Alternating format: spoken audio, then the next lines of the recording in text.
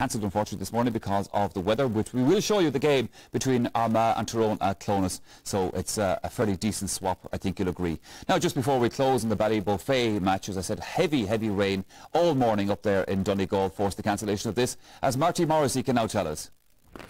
Yes, very disappointing news here in Ballybofey with the match being cancelled at 2.45. Gerry Kinneavy, the Roscommon referee, inspected the pitch uh, for about a half an hour before deciding, as he told me uh, officially himself, that the pitch was unplayable and for the safety of the players would not go ahead. Well, the news now is that the Donegal Down match will be played here in Ballybofey next Saturday afternoon at 3.30. Joining me is Noreen Doherty, the Donegal County Secretary.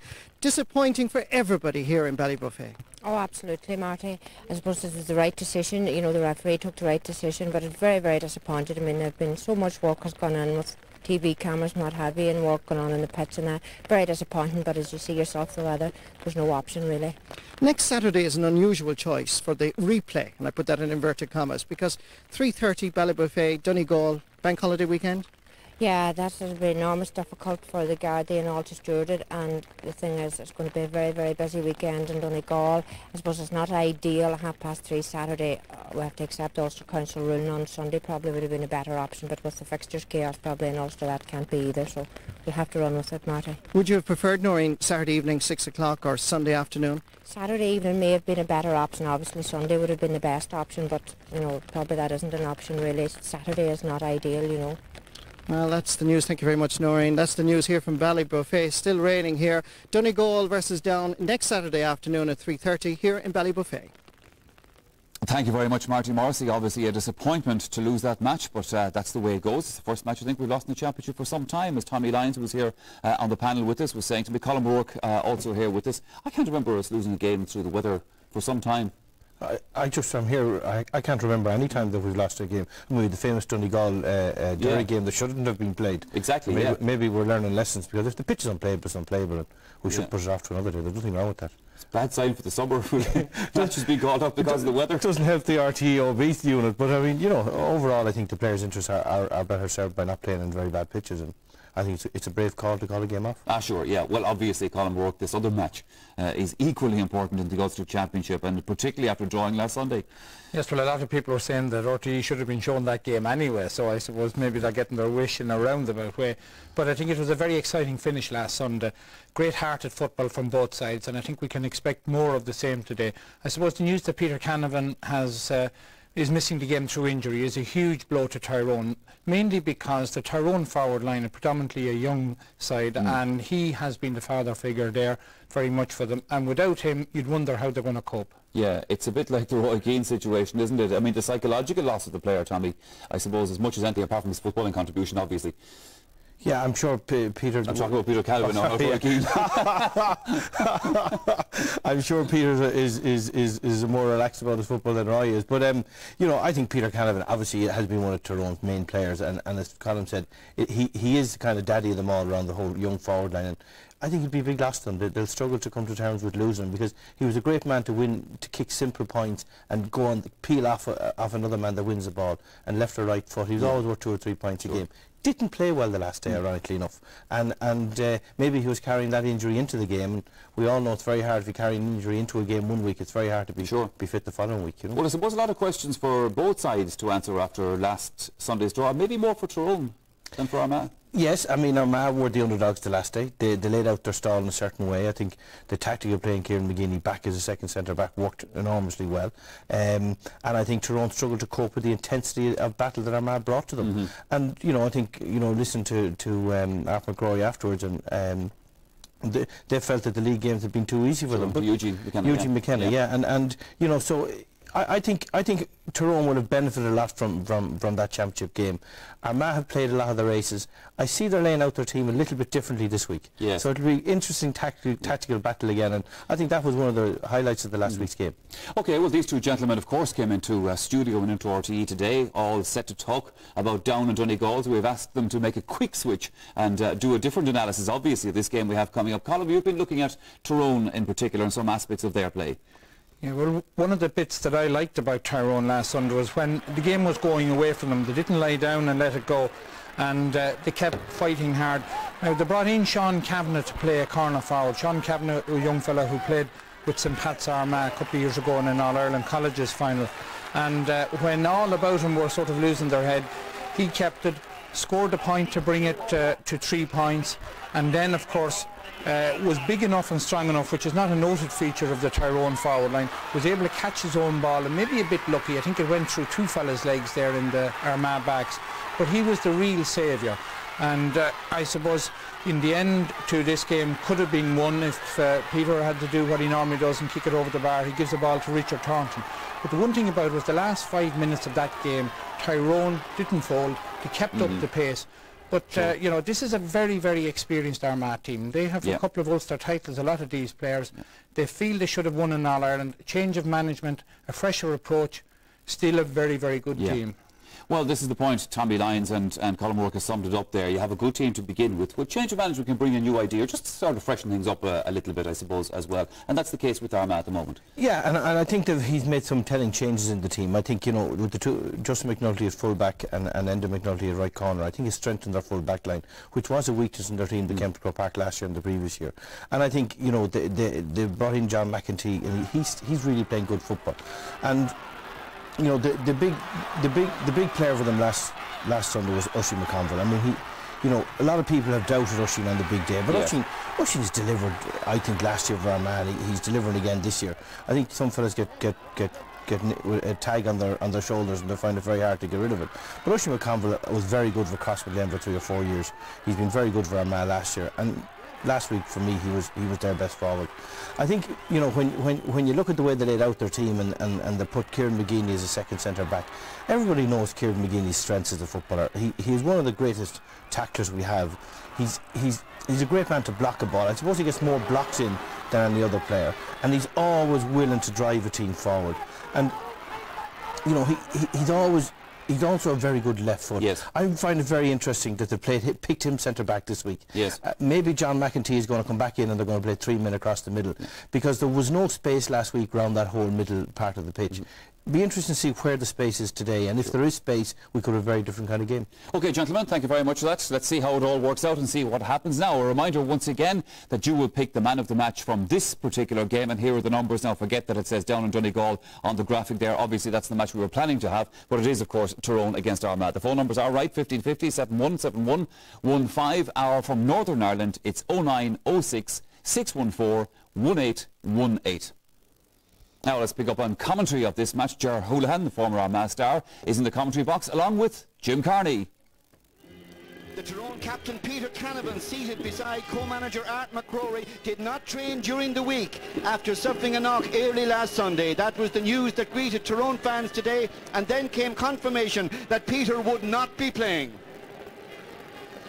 Midfielder Cormac McAnallen takes over the captaincy. Philip Jordan makes his oh, championship debut at left half back. Richard Thornton is the man who comes in at top of the left for Peter Canavan and Sean Cavanagh is retained at top of the right wearing number 19.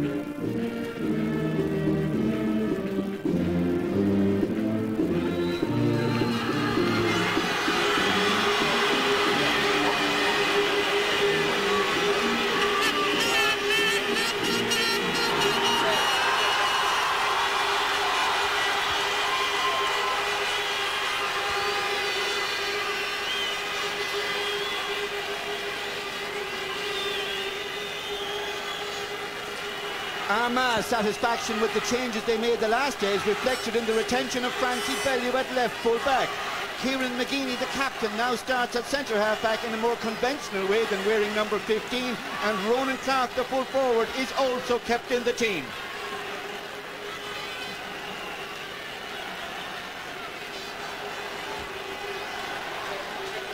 Okay, boys.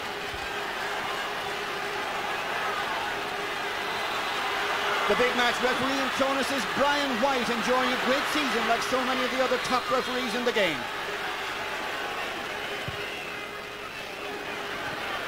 First attack of the match. For Armagh. The left foot forward, Diarmuid Marsden getting it across. First scoring chance of the game perhaps for Paddy McKeever. He's crowded out. Kieran Gourley there for Tyrone and they work it out of defence. Well, the drawing game was so tight. The big question being asked here today, can Tyrone find the space, the space that Armagh denied them in the drawing game?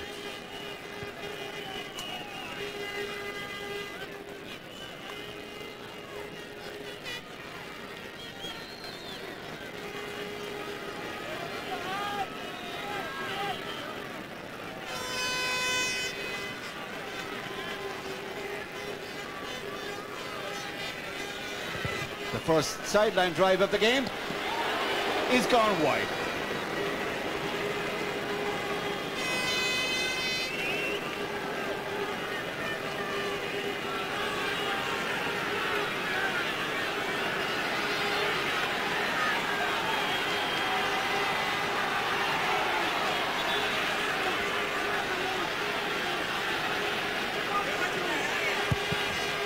First kick out of the match for Tyrone's impressive new goalkeeper Peter Ward.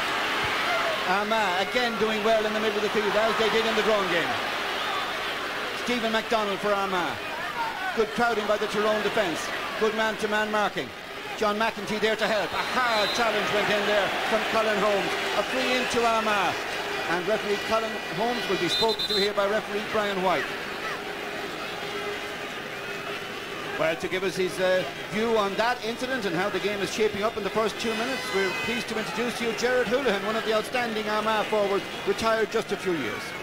Yes, Jim, was a good start by Armagh here. Uh, unfortunately, Ronan Clarke, my own club mate, down injured. Uh, Ronan had a terrific game the last day, and I'm sure Tyrone wanted to really stamp their authority and make sure Ronan isn't the same influence that he had on last, year, last week's game. The first yellow card of the match goes to Colin Holmes, who ironically plays his club football in Armagh with the Harps Club.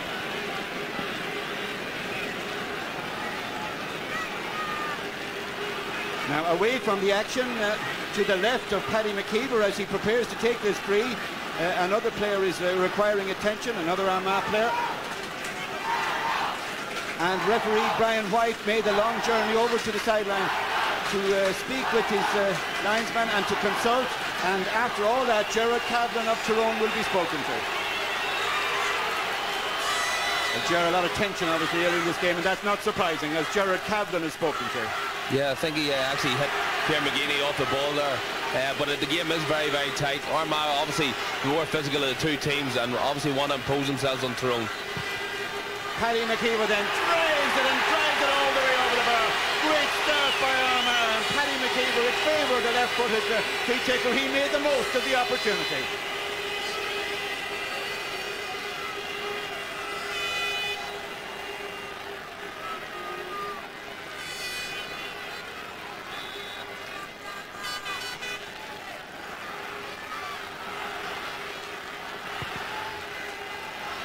Peter Ward bearing his kick out, knowing that Armagh won the first uh, two or three.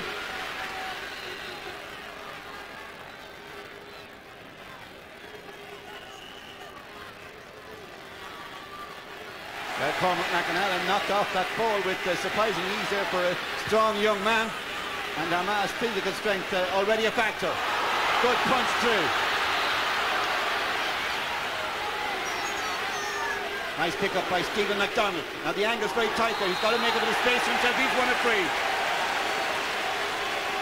Now already Gerard Houlihan is clear that the pressure is coming from Armagh. Yes, Armagh's delivering the ball long and quickly into the full forward line. Steve McDonnell, who was disappointed with the game last year, did very, very well, worked this free.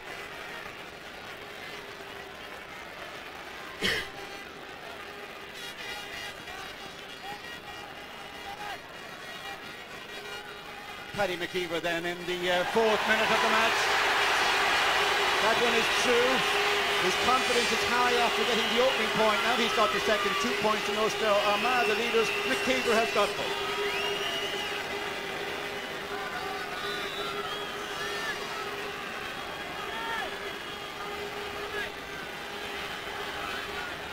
Great colour and excitement in Clones as always.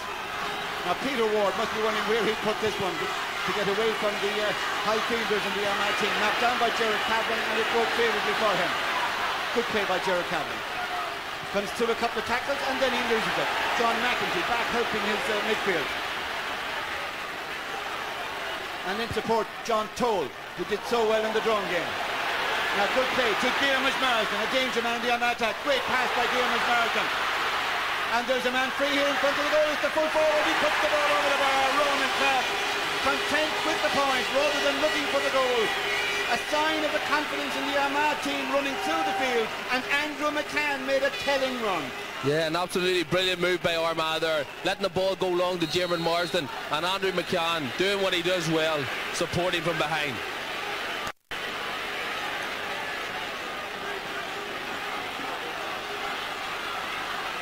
Now Ronan Clarke, in his mind, uh, he knew there that there were Tyrone men all around him. He did the right thing.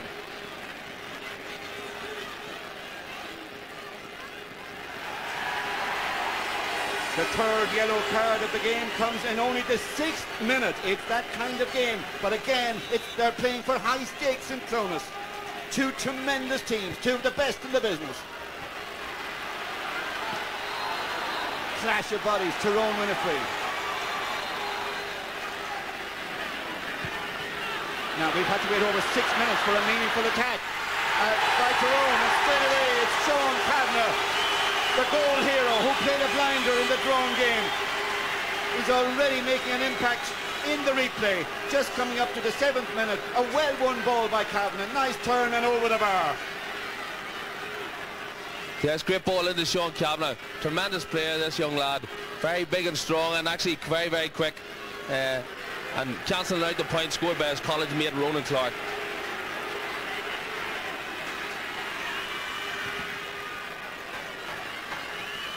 Tremendous drive by uh, Brendan Tierney, of our keeper, very so experienced. Kieran McGeeney, spiritual leader of this Armagh team. Strong man, but also a very skillful player. Now, just a little bit of trouble there, but he got out of it nicely by using the fisted pass. And again, sign of a good player that he will always use that option. Tyrone win it back.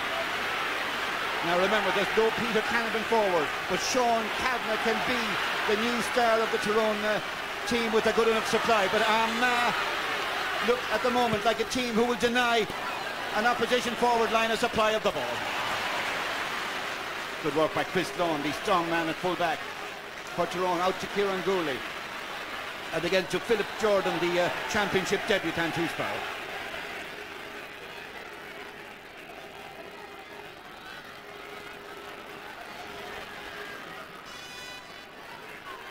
Colin Holmes for uh, Tyrone, one of three players who's on yellow cards. Good run forward to Philip Jordan, an attacking type of uh, halfback. Three to Tyrone.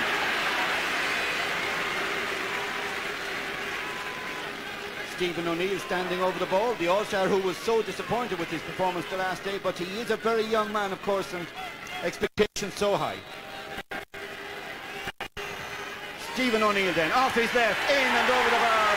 Brendan Tierney keeping his eye on it, content to shepherd it over the bar, knowing that it would be dangerous to try to knock that ball out, even if he could. Yeah, I think this is a crucial score for Stephen O'Neill. Disappointing last week, but surely an early score to settle him down.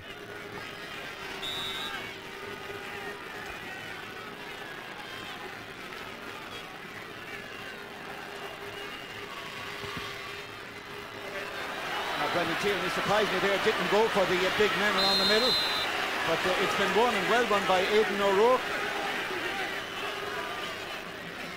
Kieran McGeeney towards top of the right, won by Brian uh, Robinson. The man in support is Philip Jordan. Tyrone had to use three men there to get that ball uh, across in front of their defence, but uh, they did it uh, by making sure each time, and that was the key. They got their passes in until Armagh won it back. Now there will be a free into Armagh here for a late challenge, almost certainly. Brian White, right up at the play, is running upfield to give this free, and a little bit, little lack of discipline there in the Tyrone team after the ball was driven. Yeah, Brian White's been right on top of this game from, the, from day one. Uh, he's obviously big three players for off the ball instance, and, and Tyrone have seemed to have lost the discipline at this period of the game.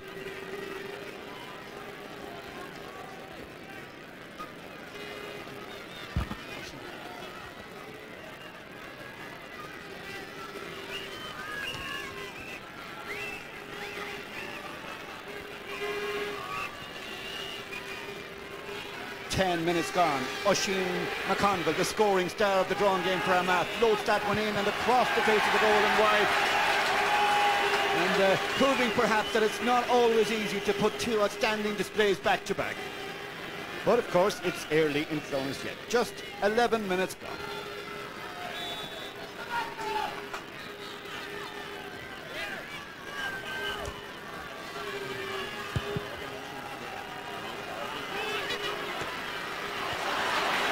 Cormac McAnallen wins it in the middle of the field for Tyrone. He's now the captain, a very young man to be given the captaincy, but that's how high they rate him and what they think of him in Tyrone as a leader. Kevin Hughes playing now out around the middle of the field to Brian Dooher, just not in the game yet, but he plays a good ball in until it runs through to Brendan Tierney.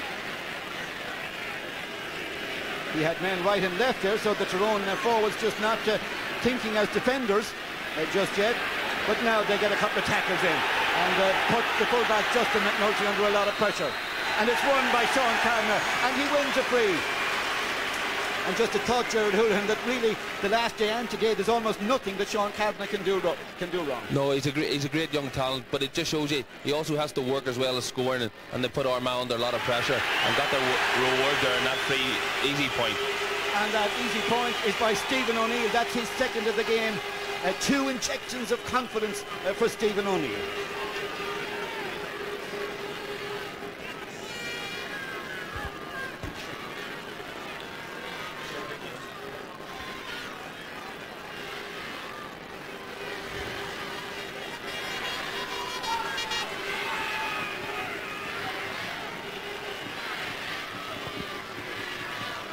Brendan Tierney straight down the middle, but Kevin Hughes is running onto it for Tyrone, and Brian Dooher picks up the pieces. It was a good knockdown uh, by uh, Kevin Hughes, and Brian Dooher's going through, and he wins a free. Good work by Dooher, but especially good work by Kevin Hughes, and a good move by the Tyrone uh, management team to send out Kevin Hughes to the, to the midfield, where he has broken the stranglehold that Armagh did seem to be exerting in the early minutes. Stephen O'Neill will kick this one and Gerard Houlihan you were noticing just a bit further back the field that Tyrone have made a change in their approach to uh, McConville as we watch. Stephen O'Neill kick his ball over the bar. Yes, well Oisin was the star of the show last week as far as I was concerned for Armagh. And Ryan McMenamin now has moved to Paddy McKeever and Philip Jordan's obviously doing a man-to-man job on Oisin McConville. As Stephen O'Neill puts over his third and Tyrone's uh, four, uh, point uh, third point of the game. So now they lead by four to three. It's this game has been turned right around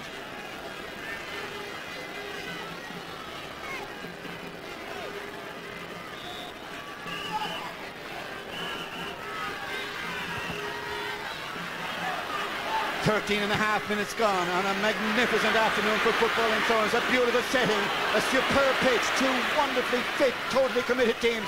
Uh, Brian Dooher for Tyrone, looking for Sean Cavanagh. Oh, very good work in the, uh, by the Armagh full-back line. The uh, McNulty brothers and Francie Bellew have settled well to their task, but they've got to stay on guard right through. Kieran McGeeney switching the play. Very good ball by McGeeney. Now the man who made the run was Stephen McDonnell and a good half block in there by Brian Robinson. That's good defensive play. Now he's got to make sure of his pick up and clearance. Excellent work by Brian Robinson, but then Chris Lawn in a little bit of trouble until he gets a bit of help from his rightful back, the excellent Conor Gormley.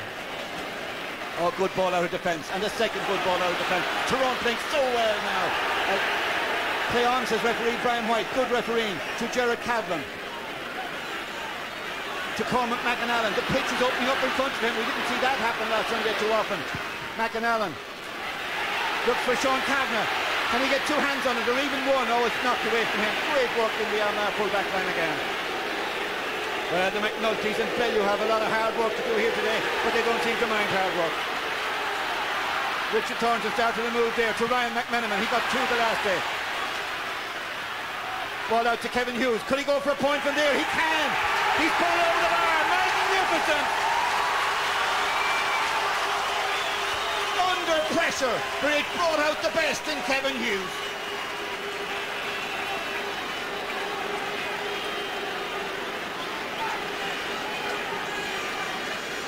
Yes, Armagh worked so hard here. Ryan McMenamin looks as if he's going to take a point.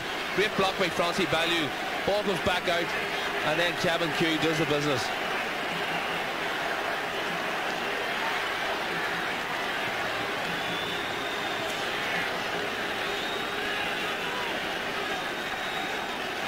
Francis Bellew, the uh, Armagh player here requiring attention as Tyrone lead by two points, five points to three after 15 minutes of exciting, hard, utterly absorbing championship football in Ulster.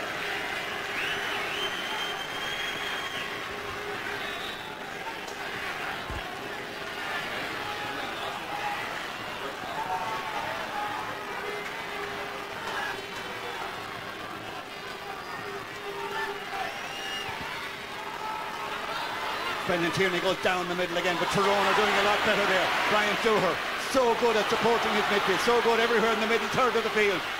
As uh, Tyrone come forward again, Cormac McAnallen. Now he'll go for a point from there to make it a double scores lead. And the captaincy given to Cormac McAnallen when Peter Canavan had to uh, stay on the bench is bringing out the best in the young man today. What a minor he was, what an under 21 he was, and what a senior footballer he is too for Tyrone. Yes, terrific score by Cormac McAnallen, but, but Tyrone have really turned this game on their head, and simply because they've been getting the ball around the middle of the field, and Cormac McAnallen taking scores like that.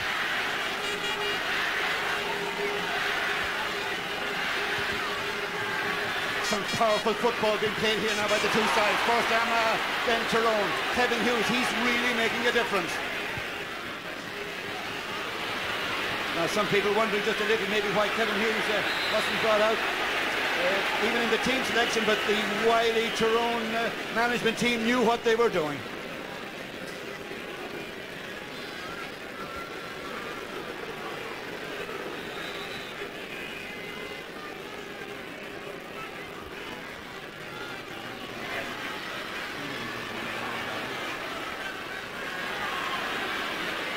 Now Armagh have to work so hard to get out of their own uh, third, first third of the field here, and Kieran McGeeney perhaps the man to uh, to rally them. Oh, good ball down to Stephen McDonnell. Now to turn on and get the goal, but that right side doesn't really favour him, and the block down goes in by Kieran Gourley and Ryan McMenamin there too, and Tyrone come away with it. It just fell, I think, on his wrong side, but it was a chance. Now the speed of Tyrone to come into it here. Jared Kavanagh, there's a lot of room forward. Sean Cavanagh first run on it. He's a big young man, but he's got a lot of power. Did so well to fend off the challenge of Justin McNulty. There's another man coming across, Francie Bellew. Cavanagh to go for the point, but it took a lot out of him, and it's gone wide.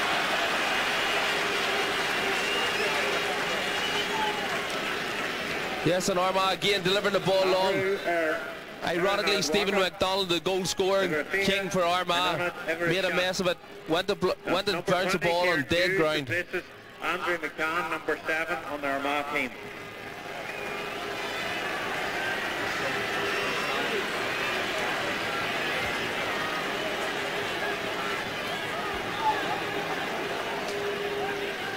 Now a sub in the Armagh team already. They're so concerned that the attack-minded Andrew McCann, they've gone for a more defensive type player, I think, and an experienced player in Kieran Hughes.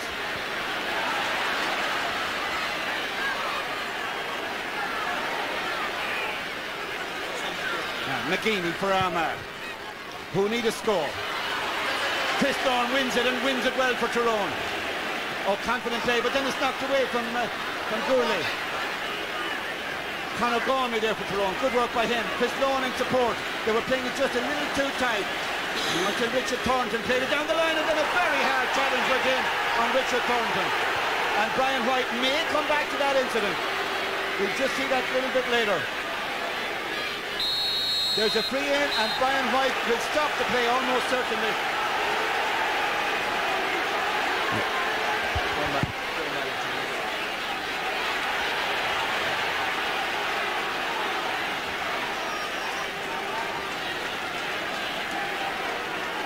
Now there's an man being spoken to here. He's John McEntee. It's a yellow card, and uh, we did feel that uh, John would be spoken to for a late challenge, and a hard challenge it was too. I think, Jim, this is an aspect of the game we need to cut out. This is obviously a third man tackle. I don't think John lifted the elbow or anything, but he stopped he stopped Richard Thornton in his tracks. Well, up to now, Stephen O'Neill has been kicking the field so well off his left, but this one from the right, Gerard Cavlan has swung away from him. But remember what happened last Sunday late in the game when a ball dropped like that in there.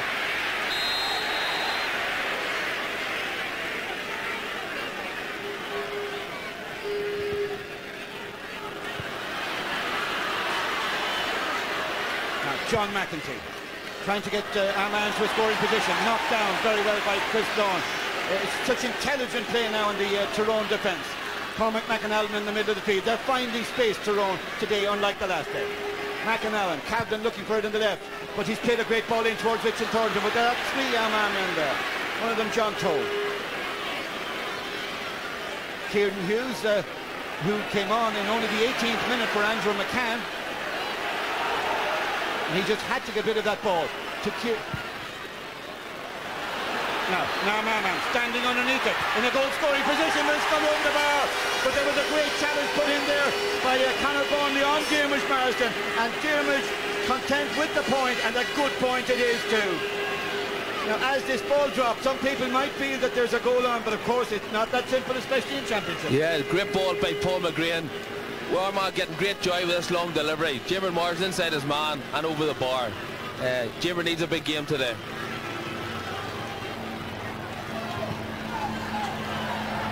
Aidan O'Rourke onto it for Armagh. Good play. Stephen McDonnell. O'Rourke has continued his run and is fouled. And this is a valuable one for Armagh. Just a word, Gerard, on the Armagh substitution on the 18th minute. Was it a case of needing a more defensive-minded wing-back than the attacking Andrew McCann? There, there was whispers all week uh, of uh, Andrew McCann having a groin strain, and I don't think they expect him to last the game.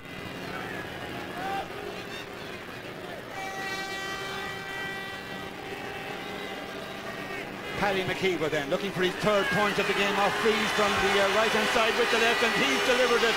It seems so long since he got the opening too. This one even more important for Armagh. Yes, Paddy's not known really as a free kick taker, but he's done excellently well today.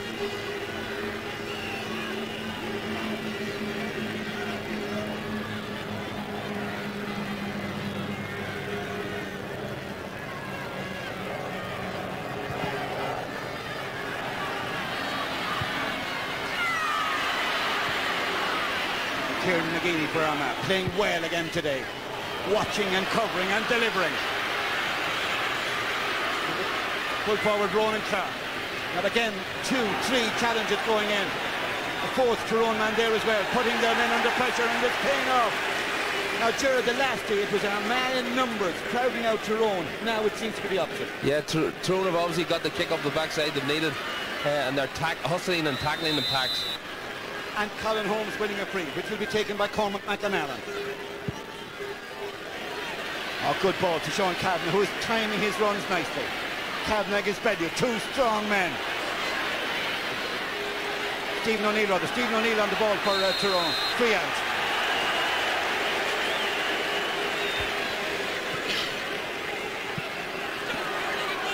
John McEntee. Turning infield, risking the block, but getting a good delivery. Oh, that's a great uh, piece of fielding in the Tyrone defence. And great support play too. Conor Gormley made the catch. Kieran Gourley. And again, the support play of these Tyrone so impressive just now. And uh, McNulty there for Armagh. Playing it just a little bit short and conceding the free. And uh, spoiling some very good work there, uh, Enda McNulty. He just did everything right, Gerard, until the ball ran away. Yeah, great cover work, but Armagh giving the ball away very, very cheaply.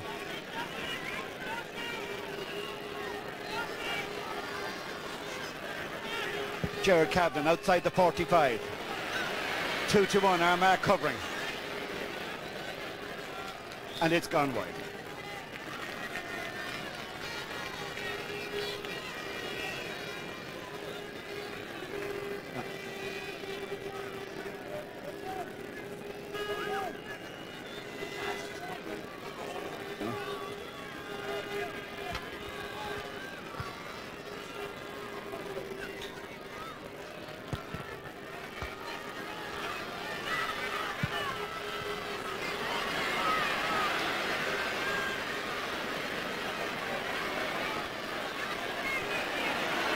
Hughes for Armagh to get them into the attack again. They trail by just one now. They've come back well. Six to five. Tyrone the leaders.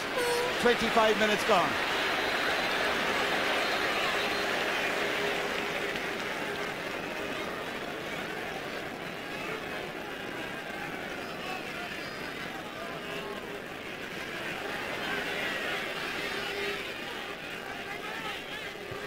Brian Dooher playing this one uh, short.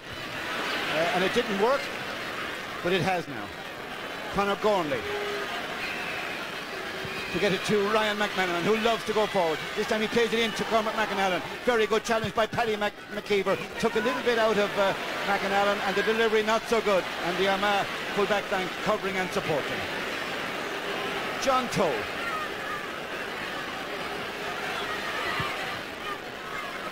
Armagh again timing the runs well. Oisin McConville. Good run by Oisin. There's a man free in front of the goal if he can deliver. Diarmuid Marsden, he just can't spot him. Or it may have been a case that the Tyrone defence were crowding him out. A chance there, Gerard Houlihan, perhaps as Diarmuid Marsden made a run. Yeah, Diarmuid was in the oceans of space, but I just don't think Oisin had the opportunity to give the ball. Yes, Oisin going there, going for goal. Head down, but had made a great run out of picture, but a free and hopefully a score.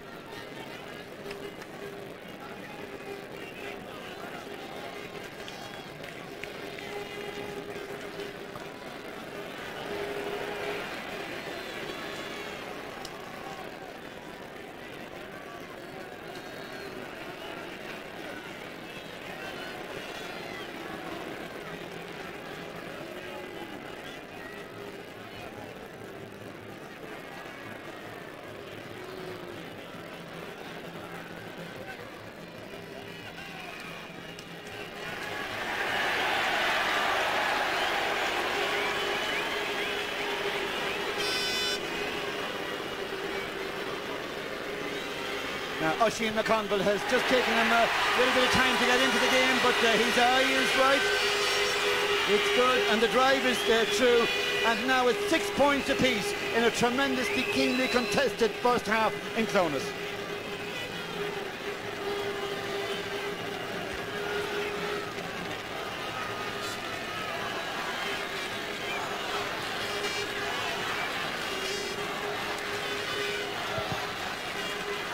Peter Ward's kick out with the sun shining. John McEntee, very good run by uh, Paddy McKeever, who's got three points from freeze. Is there a fourth one here from play? Oh, he, it just took a little bit uh, too much out of it, and indeed the run took a little bit out of Paddy too. Now both the defences have worked so hard and uh, got onto a lot of ball here, so scores will be very hard to come by in this.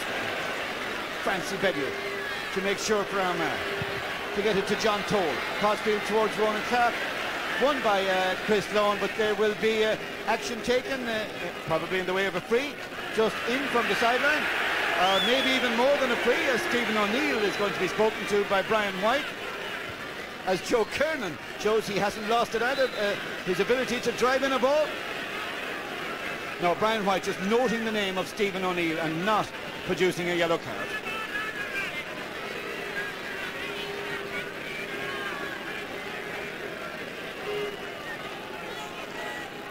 The Armagh captain, great rallying force, Kieran McGeeney. Now just watching that ball go in and uh, it's gone wide. As for a second, Armagh supporters in the huge crowd in uh, Courtney of uh, Hearnock thought that one was over the bar, but it was wide.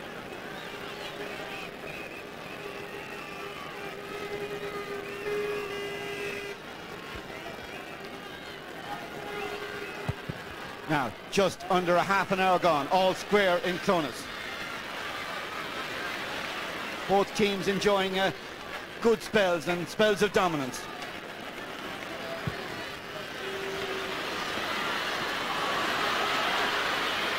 Sean Cavanagh for Tyrone, who started this game uh, quite well. Got a good ball in towards Ryan McMenamin, but very good defensive play by uh, again.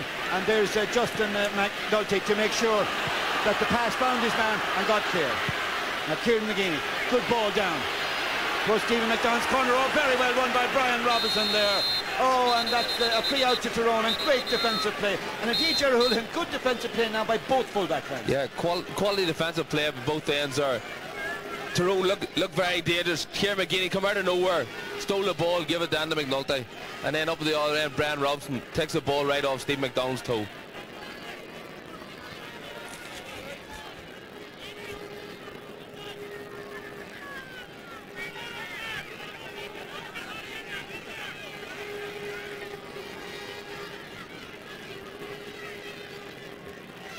Now Sean Cavanagh here in a good challenge uh, with uh, Justin McNulty.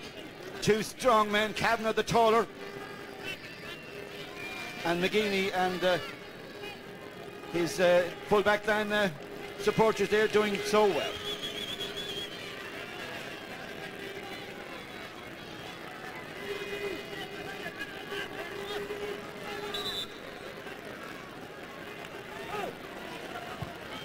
Brian Robinson's free towards uh, Cormac McAnallen. Brian Dooher, who's come over from the right wing, played a good ball through towards uh, Kieran Gourley, but it's very well won by the uh, consistently excellent Kieran McGeeney, who hardly ever puts in uh, a game that he does not exert a huge influence in. Chris Lawn, again finding a lot of room. And just watch the space that Tyrone uh, are finding here today that they couldn't find the last day. Colin Holmes coming through from midfield, but there's a couple of challenges going in now. He's got to get a bit of support or get rid of the ball or it'll be a free out and it's a free out. Brian White again perfectly positioned to make the decision. But again, field your excellent support play by Armagh. Great, great tackling. Well, certainly once it, it, both teams cross the 50, there's a lot of pressure. And crossing the 50 is uh, James Marsden for Armagh. Such skill, such technique. It's a beautiful ball player, but just as we say that he gives that ball away and that's so frustrating for uh, Marsden's legion of followers who just want him and have that desire to see him give full expression to his undoubted talent. Now a talented footballer too and versatile. Kevin Hughes for Tyrone started at full forward, came out to midfield to very good effect.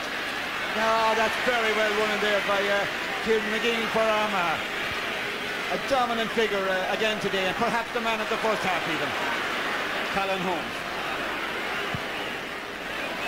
Very good ball to Kevin Hughes in a lot of room. He can kick a point from here, Kevin Hughes, but uh, he needs to give himself another bit of space. He found the space, but then clipped it just short, and that's easy for Brendan Tierney.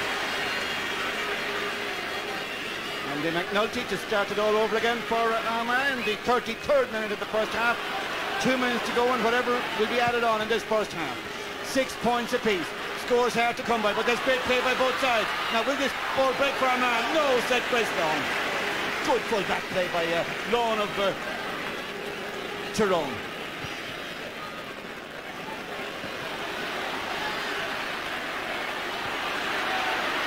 Sean Cavanagh for Tyrone again.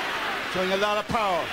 A tremendous drive across the face of the goal and just gone wide. Brendan Tierney was well placed all right, so I'm sure he knew where it was going. Now, Joe Kernan is animated. Eugene McKenna, characteristically a calm figure on the line, but no doubt there's a lot going on in his mind too. I, th I think Joe will obviously be a bit concerned. Armagh giving the ball away very, very easily. And uh, although the game's finally balanced, I think Armagh still should should make more of their possession. They're led by Gar Woman to Fresh. There will be at least two minutes. Uh, now, Tyrone winning it in the air again. Two minutes at least. McAnallen, there will be two minutes at least played over, and uh, some emphasis on at least. As Tyrone come attacking again. Good work in the Armagh defence, covering, blocking, marking, supporting, and McGeeney driving the ball out.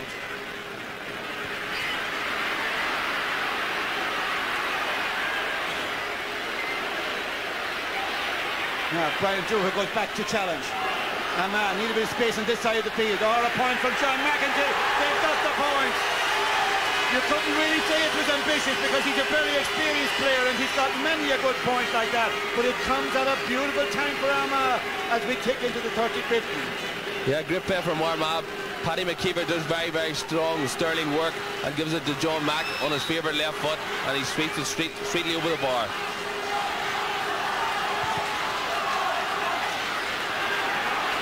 Two minutes uh, of time to be added on. It's Armagh leading by one as Kieran Hughes, a good substitute, has got right into the game, comes forward. Has James Marsden in support. Good layoff by him to uh, his right, opened up the field to John McEntee. Now it'll be harder to try for a point from there. Instead he opts for the pass. Good work by John McEntee. Good skill. Stephen McDonnell off his left but he's pulled it wide on the near side. Stephen McDonnell just couldn't find the room there, couldn't get away from the tackles to aim for the far post.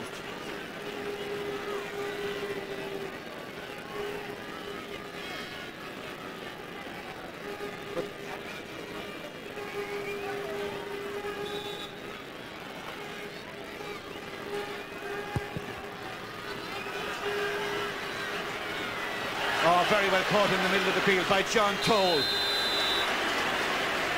won his free as well and won it well. Kieran McGeeney gets on with the play, trying to open up this uh, Tyrone full back line. And it's the uh, full forward Ronan Clarke from the Pearse Old Club. And he's won a free. And again, just as John McEntee put over a point a minute ago at a very good time, what a good time this is for Armagh to get a point now as we uh, go into a minute and a half of time added on. And it's easier now, and they'll have to be more disciplined in the Tyrone defence. Yeah, Tyrone give away a lot of silly free kicks there. I mean, Chris Lawn had no complaints there. He brought Ronan Clarke down, and uh, this is making it easier for Oshie.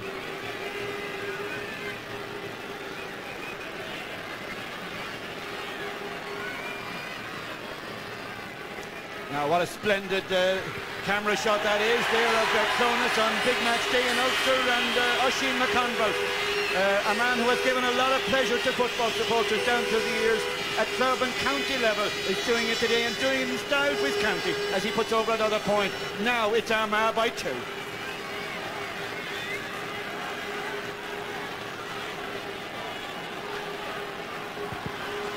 We'll soon have the half-time whistle, but not yet, as uh, Paul McGrain wins it in the middle of the field for Armagh.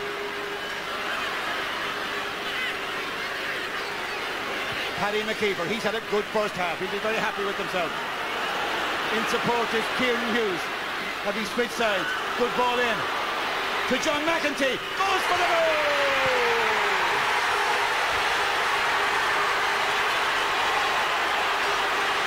John McEntee the score. What a move here by Armagh. John McEntee on his left foot. Nice and low, daisy cutter, but the goalkeeper the wrong way. Great goal for Armagh. Great time.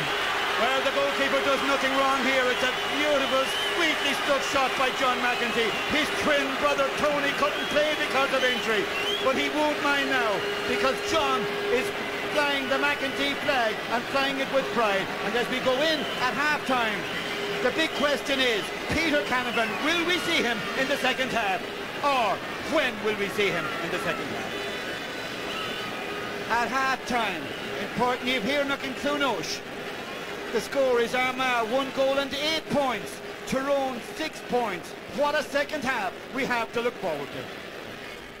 Yes, it's amazing, isn't it, how things can change in the matter of just a few seconds in that game. Tyrone playing so well for so much of that first half, but Armagh obviously really taking over at this stage. We'll see what happened in the second half after our commercial break. Now, before we go to that break, let me just remind you once again that you will pick the man of the match from this particular game. Armagh against Tyrone, 1550 717115. If you're ringing from the Republic of Ireland, 74 cents uh, per minute. Those calls cost.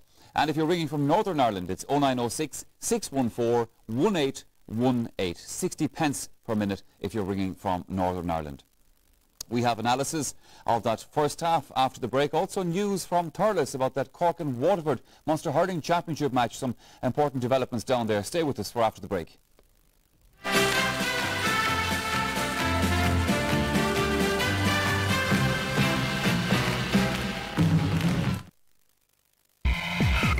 Young men think they're great drivers Therefore, drive too fast to cope with the unexpected. Slow down, boys. From the National Safety Council, supported by AXA Insurance.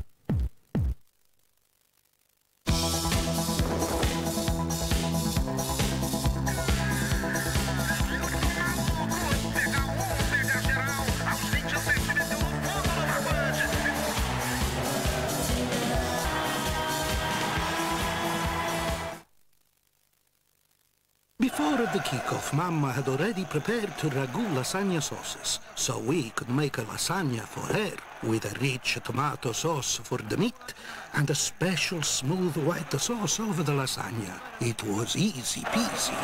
Bellissimo. And now for the Mamma test. The new Ragu Lasagna Kit, all you need to make perfect lasagna. At a special introductory price of 25% off. New Ragu Lasagna Kit, simply brilliant lasagna. An incredible discovery. Time travel. An impossible journey. I'm from the past. Why have you traveled through time? Warner Brothers Pictures and DreamWorks Pictures take you on the most extraordinary adventure of all time. The Time Machine in cinemas May 31st. Something very special. So delicious. Whiskas Complete. The only dry cat food with tasty nuggets. Crunchy outside. So tasty inside. All the goodness you would expect from Whiskas. Whiskas Complete. With unique tasty nuggets. Crunchy outside. Tasty inside.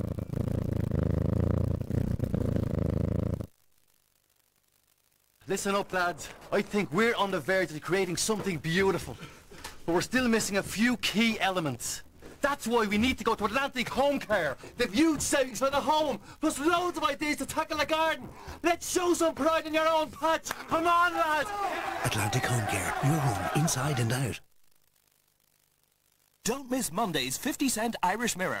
Inside you'll find this fabulous free 56-page full-colour magazine on Ireland's chances of World Cup glory in Japan. It's the only guide you'll need and it's free. Only in Monday's 50 Cent Irish Mirror. The Irish Mirror. The last word in football. The last word in sport. Would you like to try some of our new spread? Oh, thank you. Only half the fat of ordinary butter. Mm. Yeah, and suitable for vegetarians, which is great. yeah, yeah. Me oh, again. Hi. But I'm such a pig. oh, you probably missed your breakfast, did you? Mm, um, yeah. and it spreads so easily. It's lovely on the brown bread and the white bread as well, actually. Especially. Oh, sorry. okay, you're grand. As I was saying, especially on corn of the shape spread, did they make it too tasty?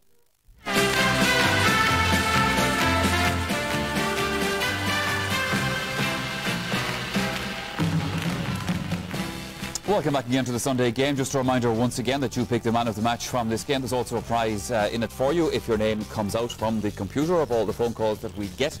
Uh, that will be announced in our later programme, of course, tonight at half nine, 15 50 717 115 from the Republic, 0906 614 1818 if you're calling from Northern Ireland, and those phone lines will be open until 8 o'clock this evening.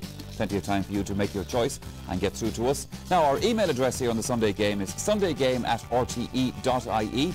If you want to contact us and make any comments about today's matches or any other aspect of GAA, uh, again, for tonight's programme, that's our uh, webmail uh, or our website there as well for you on screen. Now, I've absolutely no doubt that one of the issues tonight that will be discussed in the Sunday game and become a, a very talked about issue is the news from Thurles that the Waterford team refused to allow any of their players, we are told, to take a drug testing sample after today's match. Um, the Waterford County Board refused to let their players uh, be involved in that, went onto the team bus and left Thurles. So obviously that has huge implications. Uh, Tommy Lyons, we're just getting the bones of this uh, at the moment, but as a manager, as a Dublin manager, what's your reaction to that? It's it's it's a very unusual development because uh, whether we like it or not, the drug the drugs um, taking is is part of of law. It's passed by is passed by by by um, central council. So there is a lot of disquiet out there, though. I mean, mm -hmm. the facts are, are the facts. There is a huge disquiet out there about the whole drug testing regime. Some of it is ignorance, some of it is lack of understanding. Um, but there certainly aren't facilities in any of the GA grounds for private drug testing, for fellas to be brought away privately. There, there certainly is a huge huge a huge animosity towards the whole thing and that's been foisted in on everybody without really people sitting down and working it all out. Certainly you'd have to ask the question, how do limp and these sort of things ban you from playing Gaelic Sure. football? Yeah. Gaelic football is a team sport. It's not an individual pursuit. Individual pursuit sports, you can see where the benefit is for going uh, uh, and taking Mm-hmm. performance-enhancing product.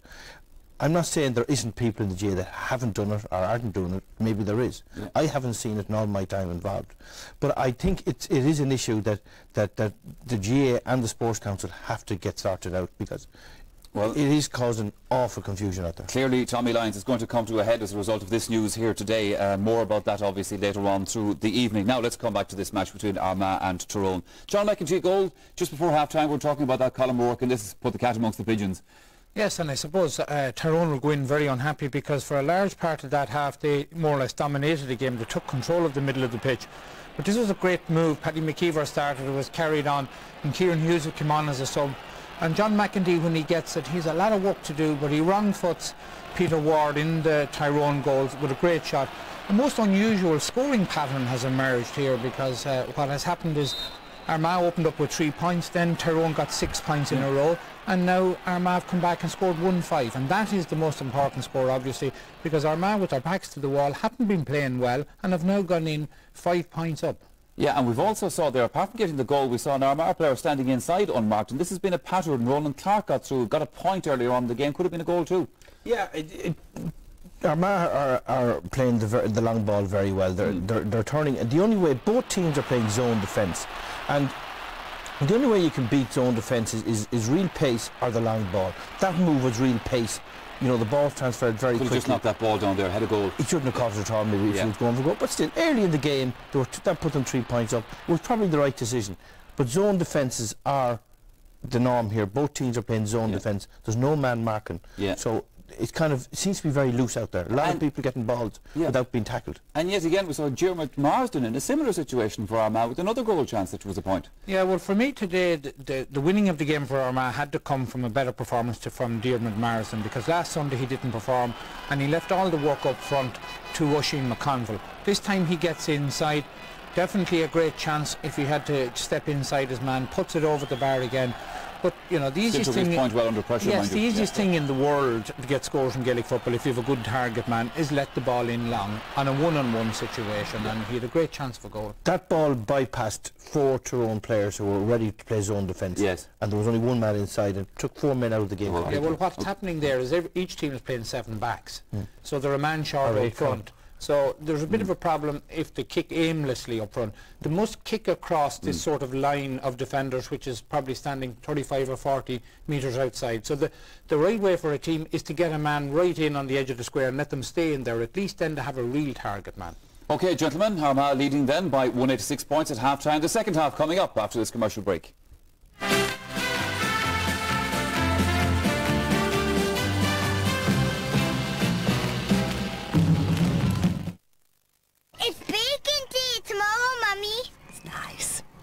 Bye, Go on then, darling. Go on. It's coming in tomorrow, Mummy. Bye. Washing whites every day can be a challenge when you're worried about sensitive skin.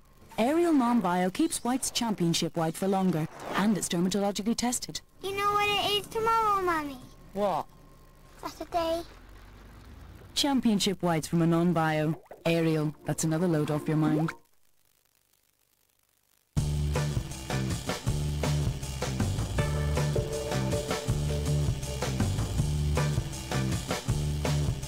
Hair contains around 10% water. Water that's essential to keeping it beautiful. Now, Dove have made a completely new moisturizing shampoo. It moisturizes hair deep inside and keeps it bouncy and softer than ever. New Dove shampoo for unbeatable moisturization. My name's Fat Frog and I live in the swamp. I play my guitar to the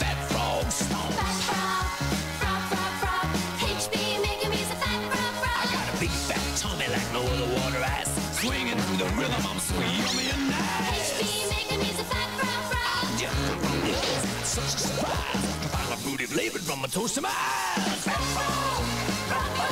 Fat Frog, live at your HB shop now. It's a fact that women are better at coping with doing two things at once. Mm-hmm. Yeah. To make sure your pad can cope as well as you can, Always Ultra now protects you in two ways. They have even longer flexible wings and a special Optima Absorb core that quickly draws liquid inside, safely locking it away. So now you're doubly protected, you can get on with being doubly brilliant. Always talking your body's language. Jack Sprats cleaned up his act, went jogging and got a bit leaner. Thanks to female persistence and a little flora assistance. his wife's a damn sight keener. Look, it's grand. You're fine. There goes your daddy. Give him a big wave. There are simpler steps to life protection for you and your family. Dave? Oh my god, Dave! Call your broker or 1890 329 229 about life steps. Life protection from Friends First. Heineken Green Energy presents live by the lead, the frames, the legendary Van Morrison, De La Soul, and for the first time ever in Cork, Bryan Ferry. New Everybody from Yoplait contains the probiotic LGG, but unlike other daily drinks, it also contains 15 of the essential vitamins and minerals that benefit everything from your hair to your heart to your energy levels. No other daily yogurt drink can offer this much. For a healthy take on life, have an Everybody every day.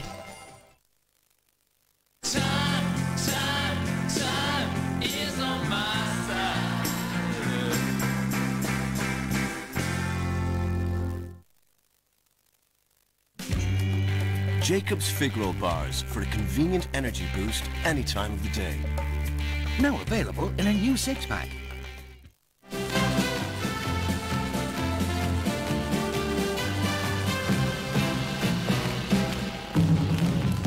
Welcome back again to the programme. Now, just a final reminder before we go back to the second half of Armagh and Tyrone about our man of the match uh, phone lines 1550 717 115 from the Republic and 0906 614 1818 if you're calling from Northern Ireland to pick the man of the match from Armagh and Tyrone. The phone lines are open until 8 o'clock this evening.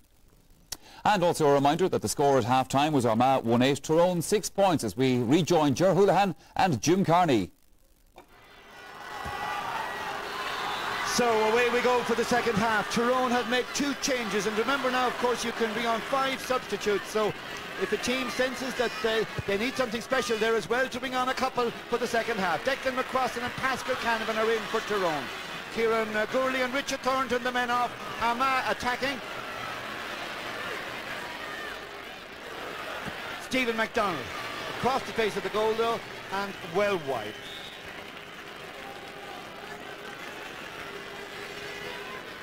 Now Pascal Canavan uh, in, uh, no sign of Peter yet, perhaps we'll see him later on, but we just don't know the extent of the knock that he took last Sunday. Now the sun continues to shine brilliantly uh, over Clones. And the big crowd, no doubt, will soon get into full voice again as Brian White gives Kevin Hughes a free for Tyrone. They trail by five points, 11 to 6. First going chance of the second half for Tyrone and Stephen O'Neill and he flashes a superb point there off his left again Stephen O'Neill he got a couple of good frees in the second half all right they just need I suspect now Tyrone a little bit more from Stephen from play Yeah, Stephen O'Neill, a great, great talent, but he needs to get the ball early. Given early from a short, quick free kick and over the bar on his favourite left foot.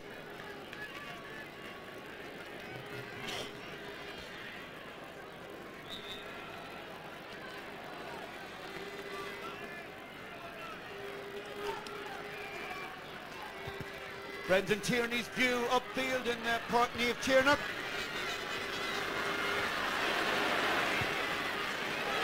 Now Tyrone finding a bit of space again.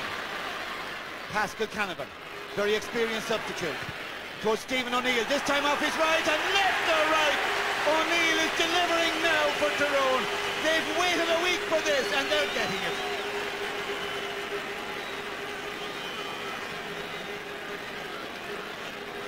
Yes, when Pascal Cano gives a short ball, uh, Justin McNulty's far, far too slack on Stephen O'Neill. He turns on his right foot and delightful point.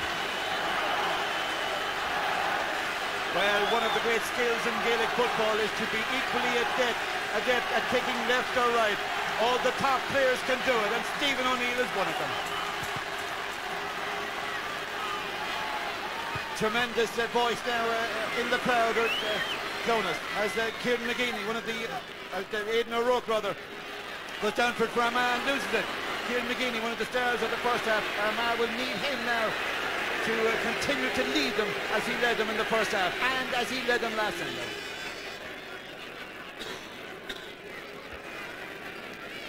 Declan McCrossan was a very effective substitute for the second half last week. Tyrone will be hoping he'll do the same this week. He's in for Kieran Gourley.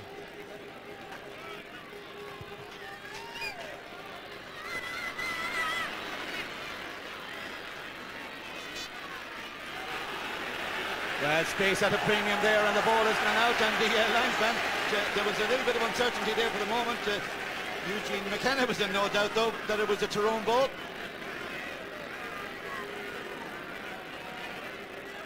Well, the uh, five-point interval deficit has been cut now by Tyrone to uh, a more manageable three.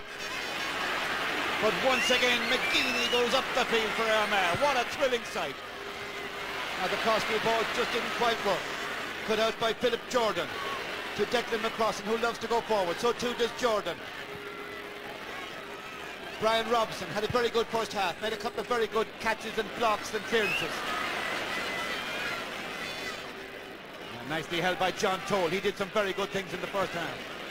From the Club in Armagh. Now Tyrone closing down their men quite well in the uh, first uh, five minutes of this uh, first half. There you see just how uh, the sun is shining here in Clones today. What a lovely afternoon it is for football. Brian Dooher to come away with it for Tyrone. Men in support. One of them is Kevin Hughes who came out the field to such good effect in the first half. Now Hughes playing it down to top of the right, but it's running away from uh, Sean, uh, from Stephen O'Neill down there. He's now being marked uh, by Enda McNulty. Kieran McGeeney, hard challenge from Hughes. McGeeney held his ground well, two hands on the ball. One is free, won it well. McGeeney's having a terrific game in this match. He's all over the place but a lot of work done by John Toal off the ball.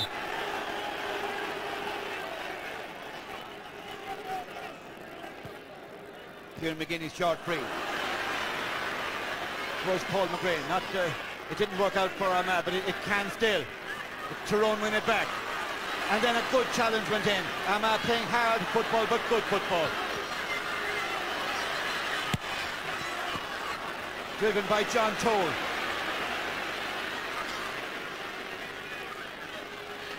Brian Robinson for Tyrone. To Colin Holmes. Working hard in support like any good midfielder. But he got a shoulder. And it's uh, won back by Armagh. Francie Bellew. Short to uh, Kieran McGeeney. Did he overcarry? Well, he just got it away in time. Falling to McConville. Space at a premium for Oisin today. That's not surprising after the uh, mark he made in the game the last day. John Toal drives it in. Tyrone coming strong out of defence again. Good support play. It was Conor Gormley who won that one. He had a good first half. To Gerard Cavlan. There's a lot of room up the left. Kevin Hughes called for that pass. He put his hand up. And he was spotted. Now Hughes in a lot of room. One or two men going in. Hughes tries for the point. It's a great effort by Hughes. It's all the way over the bar. Tremendous by the big young man. Kevin Hughes started at full forward, now at midfield, and Tyrone are getting right back into it in this second half. Yes, this man has had a great burn in both games. I thought he was a pick of the Tyrone forward line last week. Unfortunately, he was taken off, but today he's having a really good game. He's obviously stood into the mantle of Peter Canavan. only one thing in his mind, put the ball over the bar, and that's what he did. And Tyrone have now cut the deficit. A magnificent contest between two tough, hard, good footballing teams. Play swinging from end to end. Both sets of defences doing well. One eight to nine points, just two in it. Chris Dunn for Tyrone. Every scored hard earned, but nobody's complaining. Philip Jordan for Tyrone. To play it short to Colin Holmes, the midfielder, who has been supporting his defence all day. Very good ball through to that man Kevin Hughes. In terms of effectiveness, he is to Tyrone now what McGeeney is to Armagh. There they are together, fighting for the ball. And then Gerard Cavlan plays it in short. It's gone out for a 45, though Brendan Tierney got it into his arms. It's a 45, but referee Brian White will go in and see what happened here. As a challenge went in on Brendan Tierney. You're okay, there's nothing wrong with you. Get up and get on with it, is Brian White's message. Good, sensible refereeing again, but Brendan Tierney, I suspect, Gerald may just have a smile on his face all the time. He's a wily old fox. Oh, wily old fox indeed. Uh, but the ball was definitely a 50 and uh, a, a potential score here for Tyrone. Francie Bellew versus Sean Cavanagh, the young man who starred the last day. Stephen O'Neill to kick the 45. Well, Stephen O'Neill, young man uh, who uh, carried the hopes of Tyrone uh, on his shoulders into this All-Ireland Championship. For all the talk about the influence and the experience of Peter Canavan, they were looking to O'Neill as well, the All-Star. Has had a very good game so far, except he pulls that one to the right and wide, and he'll be disappointed. And it seems here that he just didn't put the power into that one. Yeah, but uh, Peter had been kicking the 50s the last day, and obviously Stephen O'Neill's probably just as, as deputy in that terms. But uh, difficult scores, 45 in these conditions. A lot of pressure on.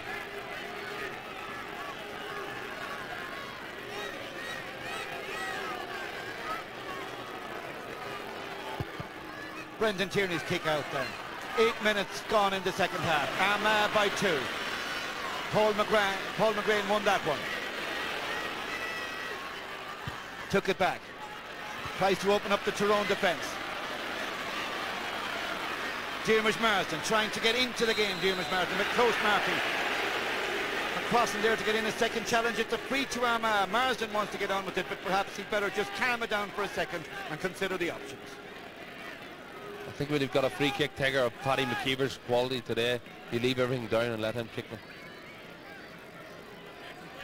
And just as uh, Gerard Houlihan says that, he's proved right because Paul McGrane has uh, left it to uh, Paddy McKeever. Three excellent kicks in the first half, but perhaps a little bit more pressure now as we go into the second half. Let's see what Paddy McKeever can do with that. Swings it in. Oh, that's great football. That's great free kicking by Paddy McKeever. Pressure or no pressure, McKeever was up to it.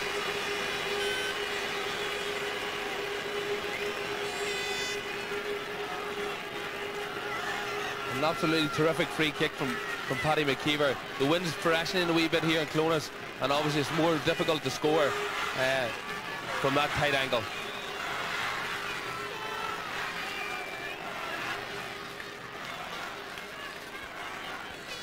John McEntee's goal for Armagh separates the sides 10 minutes into the second half. Now a little push there on uh, Cormac McAnallen just before the ball arrived. And again, as he did all through the first half, Brian White beautifully positioned to uh, spot what was going on. It was right beside him. Cormac McAnallen switching it to the right towards Sean Cavanagh. There were two Armagh men there, one of them uh, Enda McNulty. Uh, Stephen O'Neill rather. Stephen O'Neill going in field and winning a free. Now the Armagh defence I would uh, think probably less happy maybe about uh, that free, but uh, Brian White was right there to give it. And uh, a lot of ball being played into Stephen O'Neill's corner now, and this is uh, something that Tyrone have obviously thought a lot about, Joe. Yeah, Stephen O'Neill is obviously going to be the focus of, of all their attacks now. He's playing the ball in nice and early, and obviously he's getting the just rewards.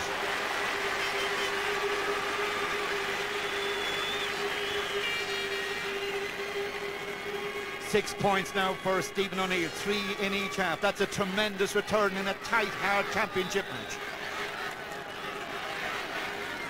I think Jim Armagh may be concerned about the full forward line at the minute.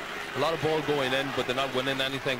And it's noticeable to see Barry Duffy warming up, and you could see a possible change within the next five or ten minutes. So that's the uh, situation as read by Gerard Houlihan, former outstanding uh, forward for Armagh for many years.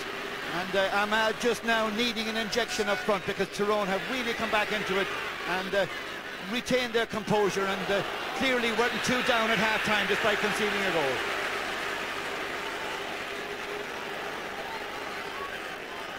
Well, pressure again uh, is working for Tyrone and uh, Brian White uh, patiently explaining there as to why he gave that free.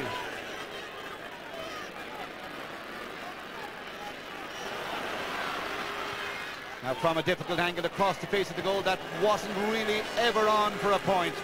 But at least uh, Tyrone had the satisfaction of keeping up the attack. Gerard Cavlan, uh, not quite the force perhaps in the two championship matches that he was in the league. But again, close marking in fairness by the Armagh defence. Yeah, I think Tyrone uh, expected a lot from Gerard Cavlan coming into the championship. He had a great National League, but didn't play well last week and he's moved to the corner now and it's, it's an unusual position for him.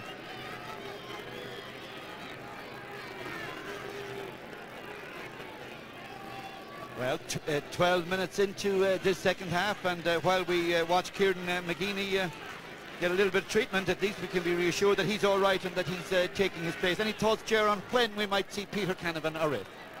I, I, would I would say Tyrone are fairly happy now. They've come back in it. They've obviously got over the five-point deficit and come back into the game, and I think they'll lead Peter as late as possible.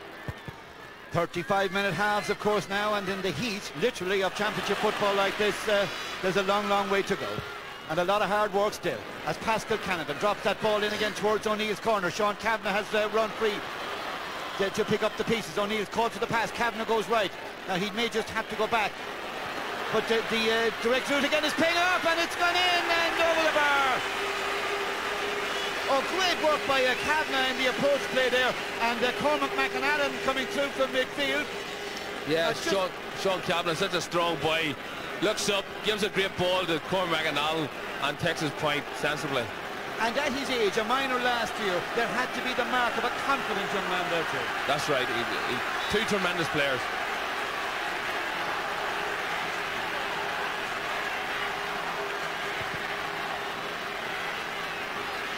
A point in it in Thurles. Tyrone on top in the early stages of the second half.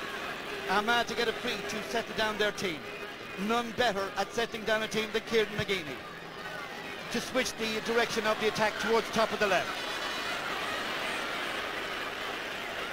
Now this is uh, young uh, Ronan Clarke. Uh, close attention by Chris Lawn and again you'll notice that the Tyrone man resisted the temptation to go in too hard uh, where he might concede a foul but Armagh, good ball in. Now a chance of a fisted point perhaps or will he go for a goal? Oh, saved by Peter Ward. It was a goal the Armagh was thinking about, and uh, now they put it wide. It might have been a goal. A point would have been consolation. In the end, it was neither. Oh, anxiety there in the Tyrone defence, but their composure was uh, admirable. They stuck to their task. However, there were two scoring chances there for Armagh. You just wonder how significant this will be. Yeah, th this, this is the point going for Aidan O'Rourke. The chances really before Oisin McConville had a chance to punch it over the bar and didn't. And well, John McEntee uh, so happy to go in at half-time having got uh, such a good goal and he kicked a good point too, but now uh, that one has gone wide.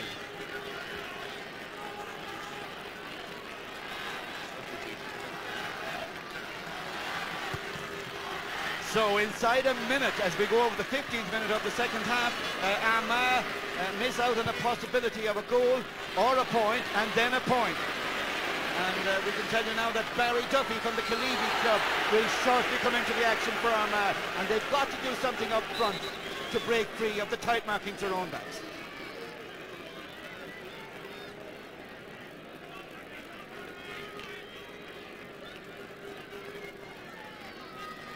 The Ahru Aaron Walker, ever a shock Giag, Barry Duffy, replacing ever a Gahar Giag, Ronan So as we thought, Barry Duffy 14. is coming into the uh, full forward line now, but I think there might be a little bit of surprise, Ger Houlihan, that it's Ronan Clarke that's giving way because he's worked hard in there. Yeah, Ronan's done very, very well, but he hasn't got much ball. I mean, uh, I think they had to make changes in the full forward line, and I would expect to, to bombard the Tyrone attack, Tyrone defence with uh, aerial attacks. So here come Armagh. Now, first touch for uh, Barry Duffy.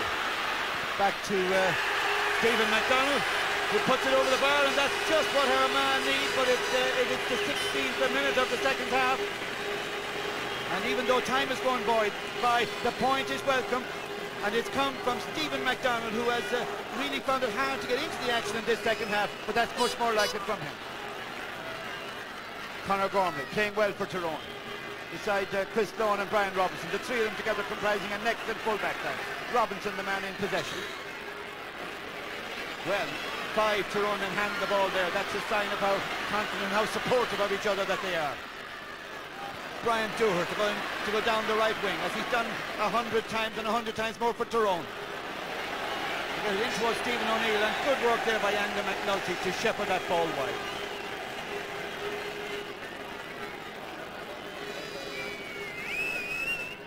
Well, again, we see Oisin McConville coming in. Just for a second, he may have been thinking about punching it over the bar. But again, it was good work by Chris Lawn in particular.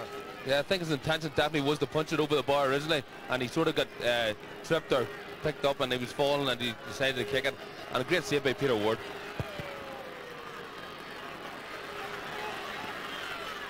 Knocked down by uh, John Toal and uh, Armagh come away with it.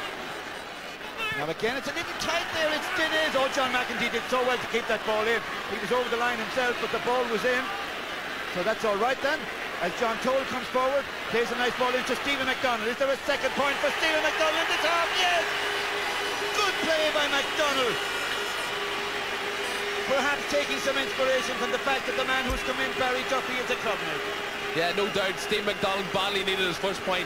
Now his confidence is high. Great ball from John Toal. Steve McDonnell after scoring his first point makes his second one. So for all of Tyrone's excellent work in the second half, there's a goal between them again, and that goal is for Armagh. McCormack McAnallen picked up a good position just inside the 45. There was a man calling for the pass. The pass came. Now, is there a chip going in there? No, not at first, but there is now. And Brian Dooher, the man fouled. And again, Brian White right there to make the decision. Armagh should not be giving away needless free kicks. No Brian Dooher was close. We have to work harder. Keep them out. execute.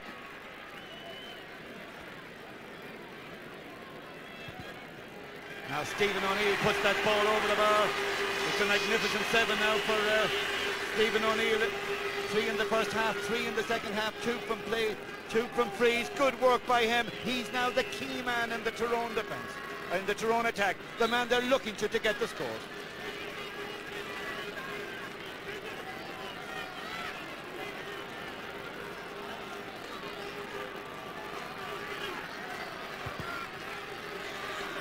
So Brendan Tierney kicks out uh, with it back to a two-point game for Armagh. Great bit of catching there in the middle of the field. Great work by Paul McGrane. With a bit of support from uh, McGeeney and the substitute Kieran Hughes, uh, who has played some good football. Now down towards top of the left. Oh, great running by Brian Robinson again. What a fine match he's played. And again, no more than John McEntee a minute ago. Uh, out over the line, but made sure the ball stayed in. That was the key.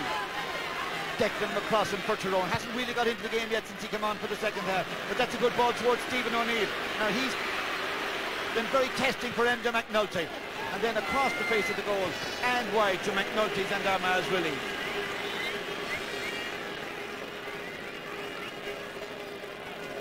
Ger we know that Peter Canavan is warming up, so Tyrone sense that they can't wait any longer, clearly. No, I think they have to bring Peter in. Obviously, listen to the crowd's reaction. I think it'll be a massive, massive mental lift here when Peter Canavan is introduced to this Tyrone team. 20 minutes gone in the second half, which means there's 15 to go. Two Tyrone men to come in. Uh, Peter probably uh, won't be the uh, first to come in. But uh, he has taken off his tracksuit top. Been replaced by number 13 over So Brian McGuigan will be uh, first from a famous football family in Ardboe. Number 13 replacing Gerard And uh, Gerard Cavlan is the man to make way. He went from left full forward to top of the left, and now Brian McGuigan to come in.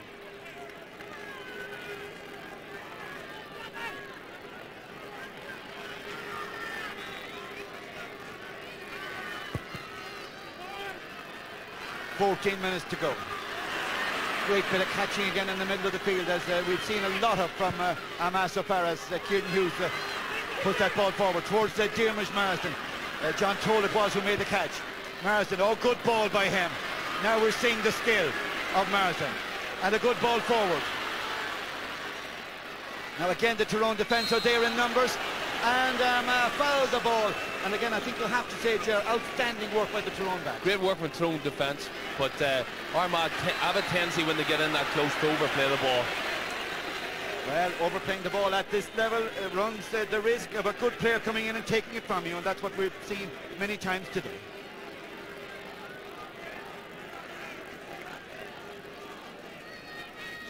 Francie Bellew from uh, Crossmaglen, the club of uh, manager uh, Joe Kernan, uh, is the latest to be spoken to and to get a yellow card. We had four in the first half, and now we have a fifth as Tyrone come on the attack. But again, for all their good work in the second half, they do trail. It's 111 to 12 points. Armagh the leaders. But uh, they've uh, conceded a free here. That man is Enda McNulty, and no doubt about it, uh, Gerard Houlihan. But Enda McNulty does have his hands full. Yeah, he has his full, hands full. Stephen O'Leary's looking for every ball. They're moving it quickly to him, and Enda's it all to do. Stephen O'Neill there, going for his eighth point of the game, but it's swinging away. That's not coming in. It's gone wide, and that goes down as a miss.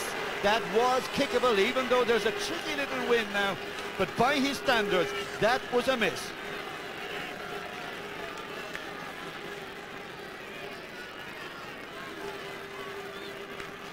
Colin Holmes, the Tyrone number nine, waiting for the kick out, and uh, there's been some great clashes in the middle of the field today under that dropping ball. Kieran Hughes for Armagh. Two hands on, on the ball, eyes on the ball, and then through the tackle to Paul McGrane. But he's just run away from him. Now again, we see the pressure that's being exerted. Colin Holmes won that ball for Tyrone. Uh, it should be an Armagh ball, despite the fact that Kevin Hughes just pleaded for a second for it, but he knew.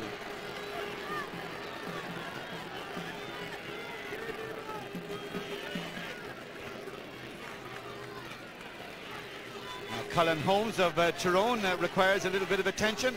Uh, he's worked hard, Colin Holmes, not so much in a conventional midfield role, but uh, in supporting his halfback man. Yeah, midfield's been a crucial sector today. I'm fairly happy with the way Armagh played right now. They've won a lot of ball. I've been particularly delighted with the work of John Toal, who's worked tirelessly in defence and in attack. And indeed, it's been a day for hard work, and uh, nobody really has shirked his duty, and certainly nobody can in the next uh, 11 minutes that we have in this game with the Armagh the leaders 14 points to 12 111 to 12 points now was it Conor Gormley who knocked that ball away yes it was so it's an Armagh ball Conor Gormley's also played very well here today Paul McGrane to uh, leave it to Kieran Hughes of Armagh and Declan McCrossan to win it for Tyrone. But it's a long way from down there to the other end of the field to get Tyrone into an attacking position. But one man who can devour the ground is McCrossan. Instead he opts for a pass. Now support needed here. Brian McGuigan in as a substitute wins the free. To Colin Holmes. Brian Dooher is to his right as he goes cross halfway. Needs a bit of help here, Holmes. Or will he go for his own score? Well, it was a little bit ambitious and perhaps a little bit too ambitious. But I have to say, Ger Houlihan, just watching that move, that Brian Dooher, unusual for him, didn't go forward to take the pass. Yeah, uh, surprising someone throw. They seem to pull themselves right out and then they're going to happy to shoot from distance. And Colin Holmes certainly didn't want to take the shot, but they had no option.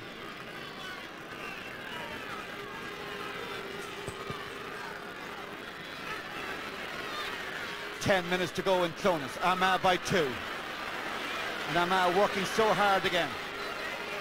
Kieran Hughes has got onto a lot of ball, and that, after all, is the uh, role a good sub must play. But uh, as we say that, he gives the ball away under pressure, so it's a sideline ball to Tyrone. Brian McMenamin, a little quieter today than he was the last day when he went forward for two good points. To Brian McGuigan, trying to get into a scoring position. Now to give a pass to Brian Dooher. Now Dooher, again a little bit ambitious, but we'll see where it drops. Now, a good little ball laid back there, but good work by the Armagh defence if they don't foul. And it's a free out. Great work by the defence again. And McQueen knew it. And he said that's the stuff to the men around him. And they get on quickly, even though it's uh, Armagh who lead. No slowing the game down. But perhaps they should, because they've given it away to Ryan McMenamin, over from the right to the left. But there isn't really a score on from there, so he's got to look for a bit of help. He finds the help all right. In and high and across and over the bar. And that's a magnificent score by Declan McCrossan, a man who's always been uh, liable to go up the field and kick a point. It wasn't an easy kick, but he was up to it. Yeah, every year he crops up, this man, Declan McCrossan against Armagh. Scores points from impossible angles. A sweetly struck left foot shot from the outside of the boot. Tremendous oh, score. Great skill by Declan McCrossan. That was a banana type shot there by McCrossan. It was beautifully delivered with a perfect trajectory. What a point. Good catching by uh, Pascal Canavan. Good ball through. Under pressure, Stephen O'Neill. It's a hard challenge there. He plays a good ball out. Now the, Armagh, the Armagh backs come around their men again. Tyrone, another point. It's on and they've got it by Brian McGuigan.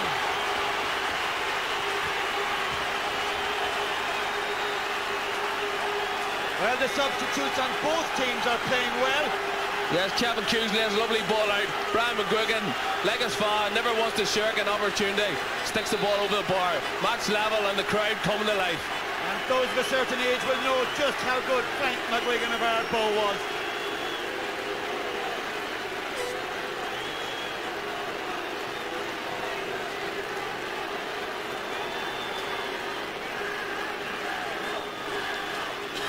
Well, it's a pity now that the momentum of the game has just uh, been halted because uh, it's level pegging in Clones and the game is at uh, boiling point and we mean that in the best and most exciting sense as Aidan O'Rourke gets up and gets on with it. And it's a day for getting up and getting on with it. It's a wonderful match here in Clones now of Ulster Championship football. They finished level the last day. They're level now with seven minutes to go.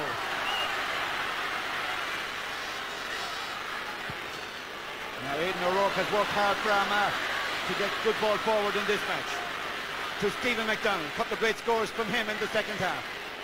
To loop around and collect the pass. To set something up on that far side of the field for Oisin McConville, who's marked very, very uh, tight and well in this game. Back to Paul McGrane. Armagh have to go out the field. They won't mind that if a score comes, but it's swinging in and swinging wide. Good work again by the Tyrone backs, who are performing heroics in this game. Yes, Armagh at this stage seem to be getting their scores a lot harder than Tyrone. They're playing, Tyrone are playing a lot of direct ball into Stephen O'Neill and getting their free kicks and working off it.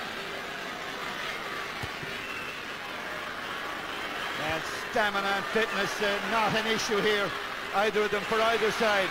And uh, they're giving it a tremendous effort. John Toal playing so well for Armagh. Good ball in. Well, one in front of the goal. Well given too. Is there a goal here? Yes!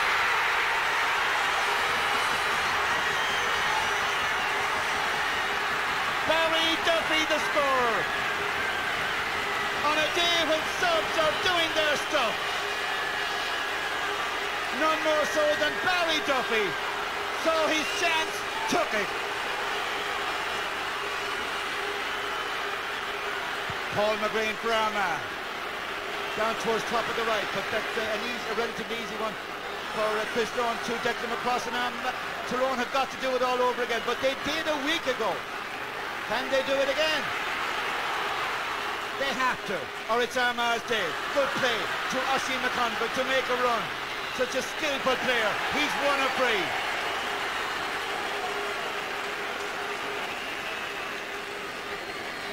A free to Armagh, won by Oisin McConville. They look to him, but here's the goal. Yes, Oisin McConville to Barry Duffy and off the right side of it, outside of his right foot, slips it past Peter Ward.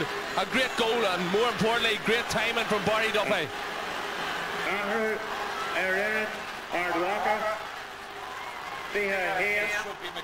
Philip Lawler, replacing Dermot Morris, number 15. Philip Lawler, 21. And on it, over a quick day, Dermot Morris, number Armagh team.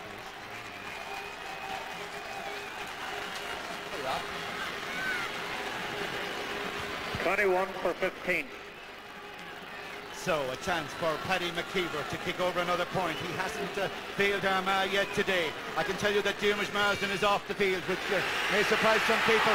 But it's Paddy McKeever now who is uh, raising the Armagh flags all around Cork cheering against What a thrilling, colourful scene it is. Armagh flying high now sad personally for who just could not weave his magic spells today. But McKeever is from left-footed frees for Armagh. Five from five from Paddy McKeever. A great return. Not one of them easy. McAnallen, and it's clear now that uh, Peter Canavan's injury must be keeping out of the keeping him out of the action because uh, Tyrone haven't produced him yet, and with just three minutes to go. Down to top of the left again. Armagh have played a lot of ball into this corner.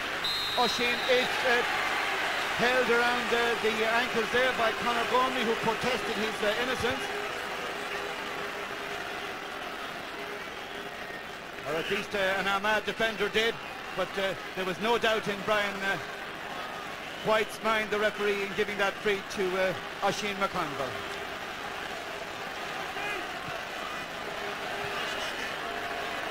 John Toal in the middle of the field. He's done a lot of good work today. Dangerous ball in towards uh, Duffy. Knocked down to Kevin Hughes, but he's had to come back a long way to help out. To McCrossan. Good challenge going in on McCrossan, and he's won a free, but he's checked his momentum is checked. That's the key. That's what uh, will leave Armagh satisfied. To Brian McGuigan. He got a good point on his introduction. Now there's a dangerous ball going in and it's, it's gone wide. It's gone wide. Well, McGuigan did so well to get this ball in, but uh, the defence stood firm when it fell. Yeah, but this is the ball that undone Armagh last week. The high ball in, Sean Cavanagh on the edge of the square. Very, very unfortunate. Flicks it, but just wide. Benny Tierney had to cover though. Well, it doesn't look now as if uh, Peter the Great will be sprung today, but of course with the system now, uh, the qualifiers, the so-called backdoor, there will be another day for Peter Canavan and Tyrone. At least two minutes. A minute to go, plus three, as Kieran McGeeney, who had a wonderful first half, plays a great ball down the line to Stephen McDonnell. McDonnell looking for the point, in over the bar. That's glorious by, by Armagh and by Stephen McDonnell.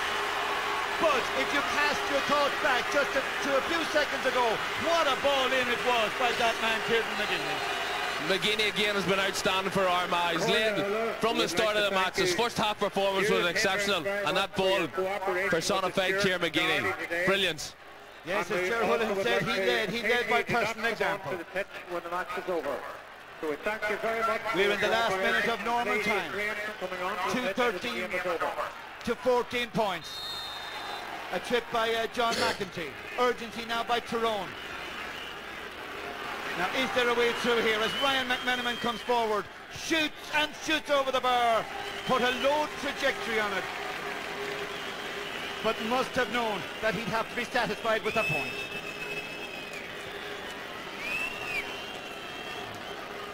Yes, a, quick ball into Ryan McMenamin. I'm sure he's looking for a goal here. He just uh, tried to hit the crossbar, dip it under, but Thankfully, it went over the bar for Armagh. Armagh can't afford to sit back on this lead. That's what they did last week. They've got to keep on pushing forward.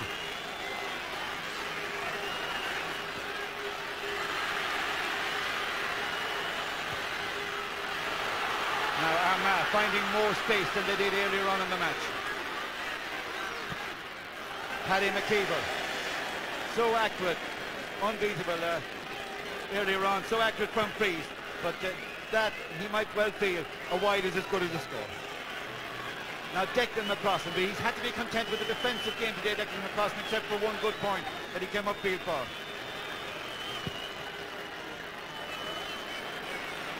Knocked down by Francie Bellew, just got a hand in there, and that's what cornerbacks are there for, to get a, a palm of a hand or a fist in and knock the ball away. Joe Kernan, uh, a man who's kept the faith all week when people were probably saying to him that his team had missed the boat.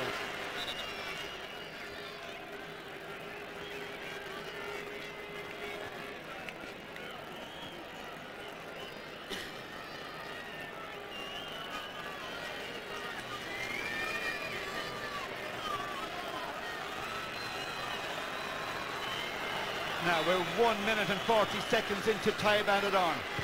As McGeeney, uh, the Armagh captain, looks for a bit of space down the top of the right. Brian Robinson, who played so well for Tyrone to get an attack going. A goal is required in towards uh, the big man. Pulls on it and pulls on it and puts it over the bar. So uh, Sean Cavanagh, the goal hero last week, late in the game, has to be content with a point here. But it does pull it back now to just three points. And Gerard Houlihan Armagh will still be worried because uh, we have at least another minute, uh, a minute and a half to go. Yes, Armagh have got to be very, very careful. No, Oh, Brad It's all over. It's all over. We've gone over two and a half minutes. It's all over. Brian White has thrown the full-time whistle on a glorious Armagh triumph in Cork, Tiernock and Clones. 213 to 16 points. A goal in it. Kieran Hughes and Armagh sub who played well. On a day when subs on both sides played well. But on a day two when there was the focus on one sub who we didn't see, Peter Canavan. But no doubt we'd see him on another day. And there's the Armagh captain who led his team by outstanding personal example. And whatever about the qualifiers and the second chance, Armagh people here in Clones today, especially Kieran McGeeney, will know that there's nothing like winning. Now, here is one of the goals, the first by John McEntee, beautifully placed, nothing Tyrone's Peter Ward could do about it. And the second goal, Gerard Houlihan, the one that really killed off this game as a contest. Yeah, great finish, by Duffy. Goalkeeper came out very, very quickly, but Barry took the bam. That's a great result for Armagh. So the full-time score uh, in Clones after a tremendous contest in which there was championship intensity, in which there were wonderful scores by both sides of free and from play, of frees and from play. The final score, Armagh two goals and 13 points. A gallant Tyrone team, 16 points. Well, what a fine game of football that was. You saw the reaction of Brendan Tierney, the Armagh goalkeeper at the end of the game. You'd think they'd won the All-Ireland, but I suppose in beating Tyrone, well, it's very important to Armagh to do that. We have analysis with Tommy Lyons and with Colm O'Rourke after the break. But before we go to that break, let me also remind you, once again, that you pick the man of the match from that game. And you certainly have plenty of choices there, don't you? It's 1550 7115 if you're calling from the Republic. If you're calling from Northern Ireland, it's 0906 614-1818. Now, while you're writing down those phone line numbers, let me also point out to you that, of course, it was to have been uh, Donegal versus Down, our live match from the Ulster Championship this afternoon. That game, of course, was called off. When you ring on those numbers, it will mention Down and Donegal, but just simply for your choice, replace Donegal for Armagh, and if you press the button that says Down, that's for Tyrone. So it's Donegal instead of Armagh, and it is Down and Tyrone. All right? Okay, we take a commercial break. The thoughts of the panel after that.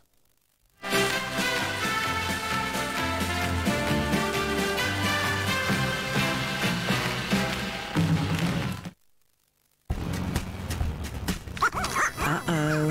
What are the jelly people up to today? Nosy little devils.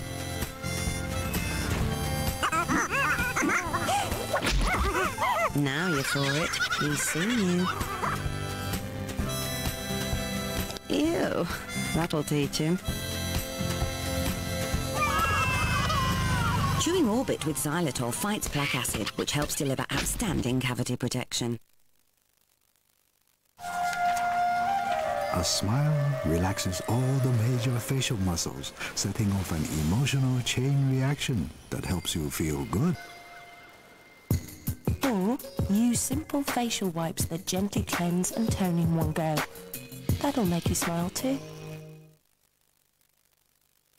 Can you cook it? Yes, I can. Can you cook it? Yes, I can. Can I cook it? Yes, you can. Schwartz Shots. From tingle to blister, nothing works faster than Zovirax. Zovirax, putting the smile back on your face. Tell you what, I'll give you a fiver. How about seven? Look, the last thing I need is another granny. Six. That's me final offer. Done. See you, Gran.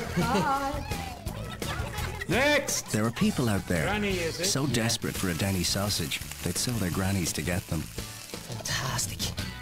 Dad, when's me Gran coming over? She's just been. No, uh, I mean the other Gran.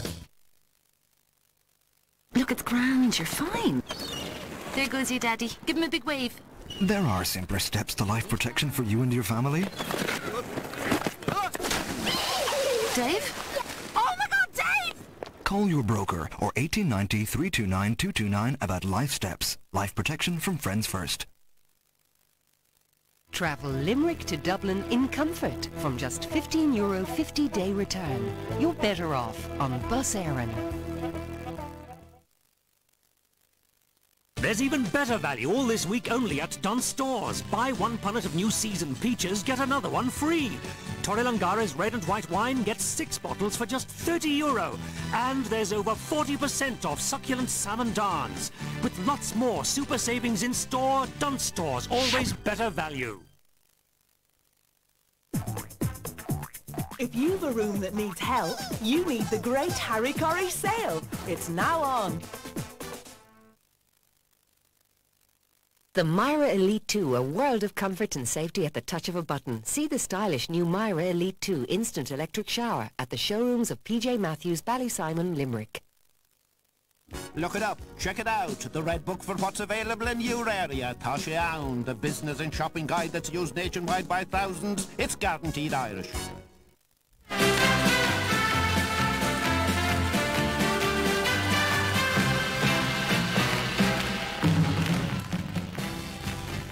Now, just a reminder once again about our uh, phone numbers. If you want to name your man of the match from this game, don't forget that there is a prize in this for you too, if you are one of the names that come out of the computer.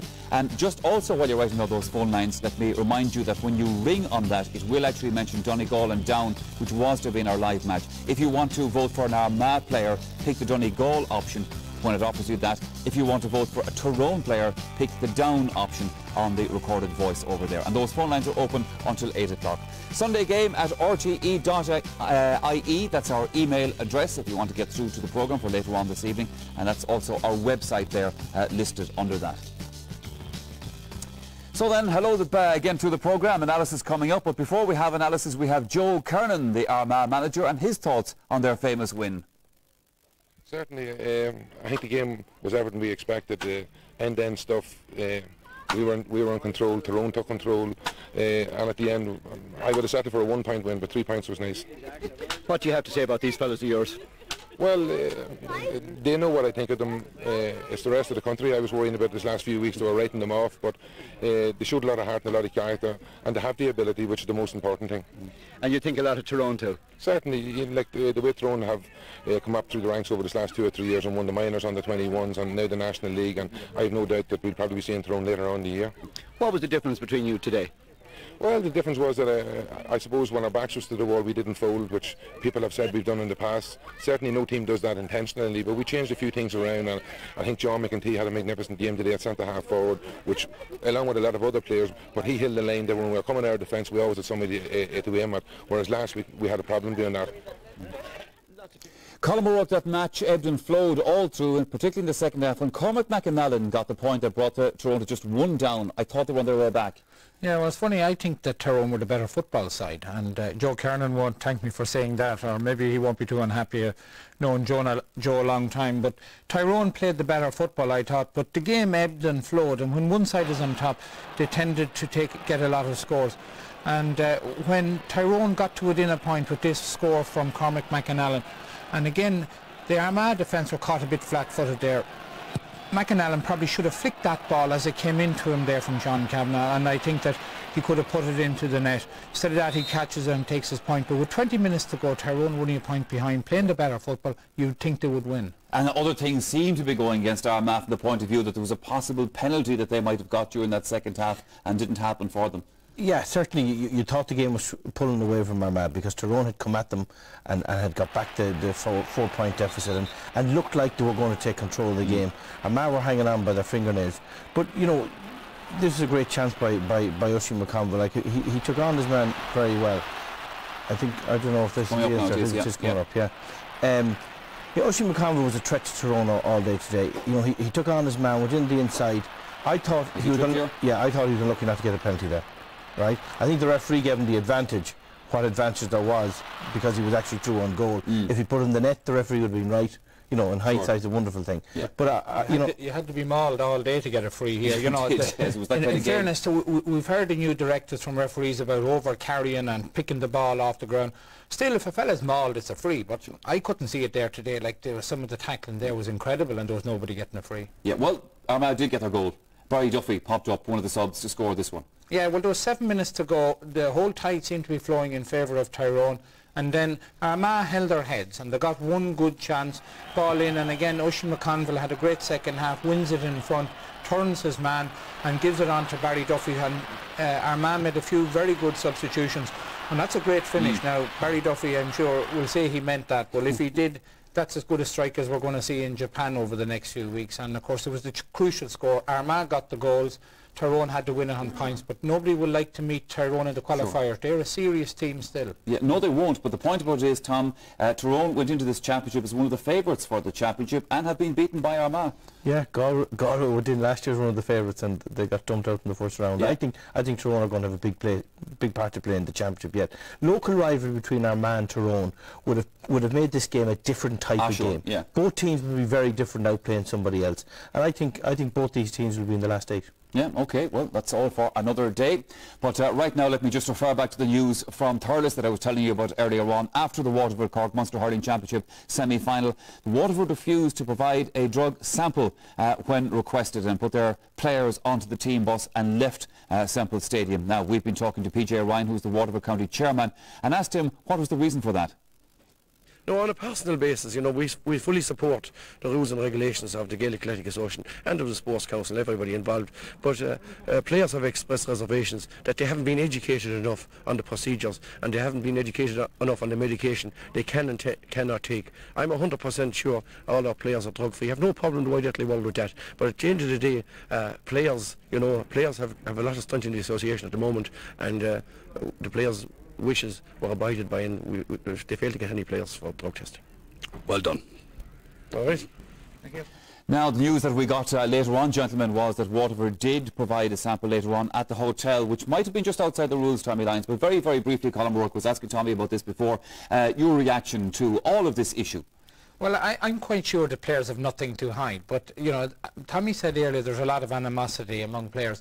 And I, I knew that this was going to happen. There's going to be an explosion on drug testing mm. because, and people outside might say some players from the GAA have something to hide. I don't think they have anything to hide, but it seems to me that you know there's a, a situation going to arise. The players are being playing hard, doing all of this, and then the drug testers who are being paid to come and take a drug test off them. There's a, yeah. an explosion waiting to happen on that side of it, but yet you know, players have to abide by the rules of the organisation. And if the drug testing is in place, it must be yes. abided with until a situation is resolved. But the lack of privacy in most GAA stadiums must make it very difficult, plus the amount of time that has to be spent there. So I have every sympathy with the players. OK, gentlemen, thank you very much indeed for that. Now we have the results of the day in Gaelic Games coming up. If you don't want to see the results, remember our nighttime programme coming up a little bit later on. You should just look away for the moment.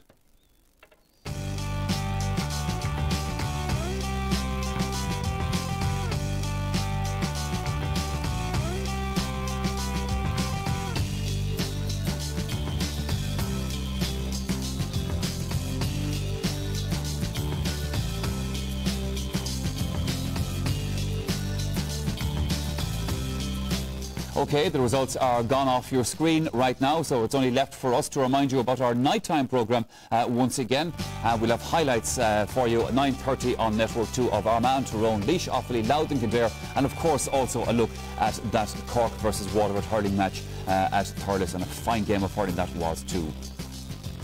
Final remember about the uh, reminder about the man of the match 1550 717 114. That's for Cork and Waterford now. Remember 0906 614 2048. That's if you want to give your man of the match from the Cork Waterford game, one of our live featured matches this afternoon and the Armagh Tyrone match. Uh, those are the numbers again. And a final reminder that the phone line will say on that one Donegal and down. If you want to vote for an Armagh player, uh, pick the Donegal option. If you want to vote for a Tyrone player, just pick the down option uh, when the recorded message offers you that.